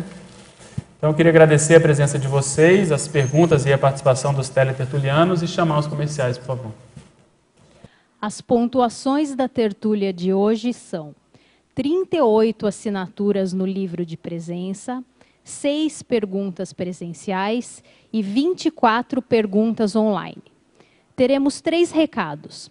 A Cristiane Ferraro e a Luciana Lavor com o grupo Carmograma Retrocognitivo, a Eliana com leitura lúcida e o Fernando Barbaresco com programação do CAEC. Mas antes, professor Fernando Barbaresco com Amigos da Enciclopédia. Boa tarde. Você sabia que a Enciclopédia da Conscienciologia hoje tem aproximadamente 20 mil páginas? E que há uma ferramenta de busca inteligente que você pode pesquisar essas 20 mil páginas de forma rápida e eficiente, acessando a todos os verbetes, todas as sessões do verbete, facilitando o teu trabalho? Esse programa chama-se Verbetomática. Está disponível para associado do programa Amigos no site do programa Amigo da Enciclopédia. Além disso, também temos o Holoserver. É uma ferramenta também de busca rápida em 39 obras da Conscienciologia, inclusive os tratados. Todos os tratados estão lá disponíveis, o DAC também, tirando o argumento da Conscienciologia. Então, você que quer fazer o seu verbete, escrever seu artigo, preparar uma aula, está escrevendo o seu livro, você pode pesquisar todas essas obras da Conscienciologia de uma forma rápida e fácil, num clique, só com palavras-chave, com busca inteligente. Então, quem é associado ao programa Amigo da Enciclopédia, além de ter disponível com exclusividade essas ferramentas, também está colaborando para a sustentação financeira do holociclo da holoteca, do tertuliário, da produção da Enciclopédia da Conscienciologia, da transmissão diária das tertúlias. Então, você associado via internet tem todos esses benefícios, além de contribuir para a manutenção dessas estruturas aqui no CAEC. Então, renove a sua assinatura, torne-se um associado do programa Amigos, ligando na recepção do CAEC no 45 3525 2652 e rapidamente você faz a tua adesão com cartão de crédito ou outros meios de pagamento. Muito obrigado pelo apoio. Boa tarde a todos. Eu e a professora Luciana Lavor estamos aqui para divulgar o curso Grupo Carmograma Retrocognitivo. Nós estamos no último dia do ano de 2016, então estamos planejando o futuro, mas sem perder de vista o passado, não é mesmo? Acho que essa foi a síntese do verbete de hoje e também é a síntese do nosso curso no final de semana que vem. O objetivo é a gente estudar as pessoas mais próximas do nosso círculo social, em especial a família nuclear, né, os familiares, procurando levantar hipóteses a respeito das vidas passadas. Então, é o estudo da retrocognição, do estímulo à retrocognição, para a gente desenvolver mais os acertos grupocármicos, que é o que nós mais precisamos nessa vida e também lá na intermissiologia, quando passarmos pela segunda dessoma. A professora Luciana vai continuar aqui as explicações. Bom, além da, da família nuclear, nós também vamos trabalhar nesse curso a questão das amizades, né, a natureza, a raiz é, das nossas afinidades com os nossos amigos mais próximos e também a responsabilidade da dupla dentro do nosso processo é, evolutivo, né, considerando nossa, as nossas afinidades também é, de passado. Então, esse é um curso bem interessante para a gente começar o ano, né, é, compreendendo, reperspectivando as nossas relações grupocármicas Estão todos convidados, nós temos apenas cinco vagas, então, para aqueles que estão interessados, é, agilizem né, as inscrições, que podem ser feitas pelo site da Consecutivos ou na recepção do CAEC. Estão convidados. Boa tarde. Em 2015, o professor Valdo Vieira nos pediu um curso sobre leitura, ou seja, um curso para melhorar a seletividade e a tecnicidade das nossas leituras e estudos. Então, o CAEC lançou o curso Leitura Lúcida. E nós já estamos na quinta edição, que começa agora em 12 de março de 2017. Este curso é muito importante para você, teletertuliano e teletertuliana, porque ele pode ser feito totalmente à distância, em AD. São 26 aulas gravadas no estilo TED, inclusive o professor Pedro Fernandes é um dos professores, com uma aula sobre leitura de dicionários. Então, são 26 especialistas nas suas áreas uh, gravando essas aulas e uma entrevista inédita com o professor Valdo sobre a leitura lúcida. Tem também preceptores, professores preceptores que acompanham cada aluno ao longo de quatro módulos que se desenvolvem ao longo de quatro meses. Então, estão todos convidados. Inicia a quinta edição em março, que vai ter como temática leitura polimática e autopesquisa. Entre em contato com o CIEC para maiores informações e para realizar a sua inscrição. Obrigada. Agora, pelo SEC, queria convidar aos teletertulianos para quem quiser passar as suas férias na Cognópolis, em Foz do Iguaçu. Aqui nós temos todas as ICs, tem uma vasta programação, e o CAEC oferece aí para você diversas atividades, além do holociclo, holoteca e tertuliário com suas atividades diárias, né? Nós temos 17 laboratórios, temos as dinâmicas parapsíquicas ainda, algumas em atividades nessa época de recesso, e oferecemos diversos cursos. Temos três complementares no mês de janeiro. 13 a 15 de janeiro, é, ortoconviviologia temática, 28 e 29 é, a temática escrita, e 10 a 12 de fevereiro, a amparabilidade. Dia 13 de janeiro também começa o nosso laboratório grupal técnica mais de um ano de vida, em, que são em quatro módulos. Então nós convidamos você participar também. Vamos ter esse ano também a versão EAD, então, quem quiser participar é em janeiro, o primeiro módulo do Técnico Mais Ano de Vida. E em fevereiro temos dias 3, 4 e 5, curso Auto Reestruturação Pensênica, que é no final de semana, um curso de imersão com as professoras Malu Balona, Cristina Aracaki, Roberto Almeida, Marcelo Silva e Marlene Koller. Então o CEEC oferece uma vasta programação e todos estão convidados a visitar Foz do Iguaçu e passar as suas férias aqui na Cognópolis, aproveitando nossas atividades. Muito obrigado.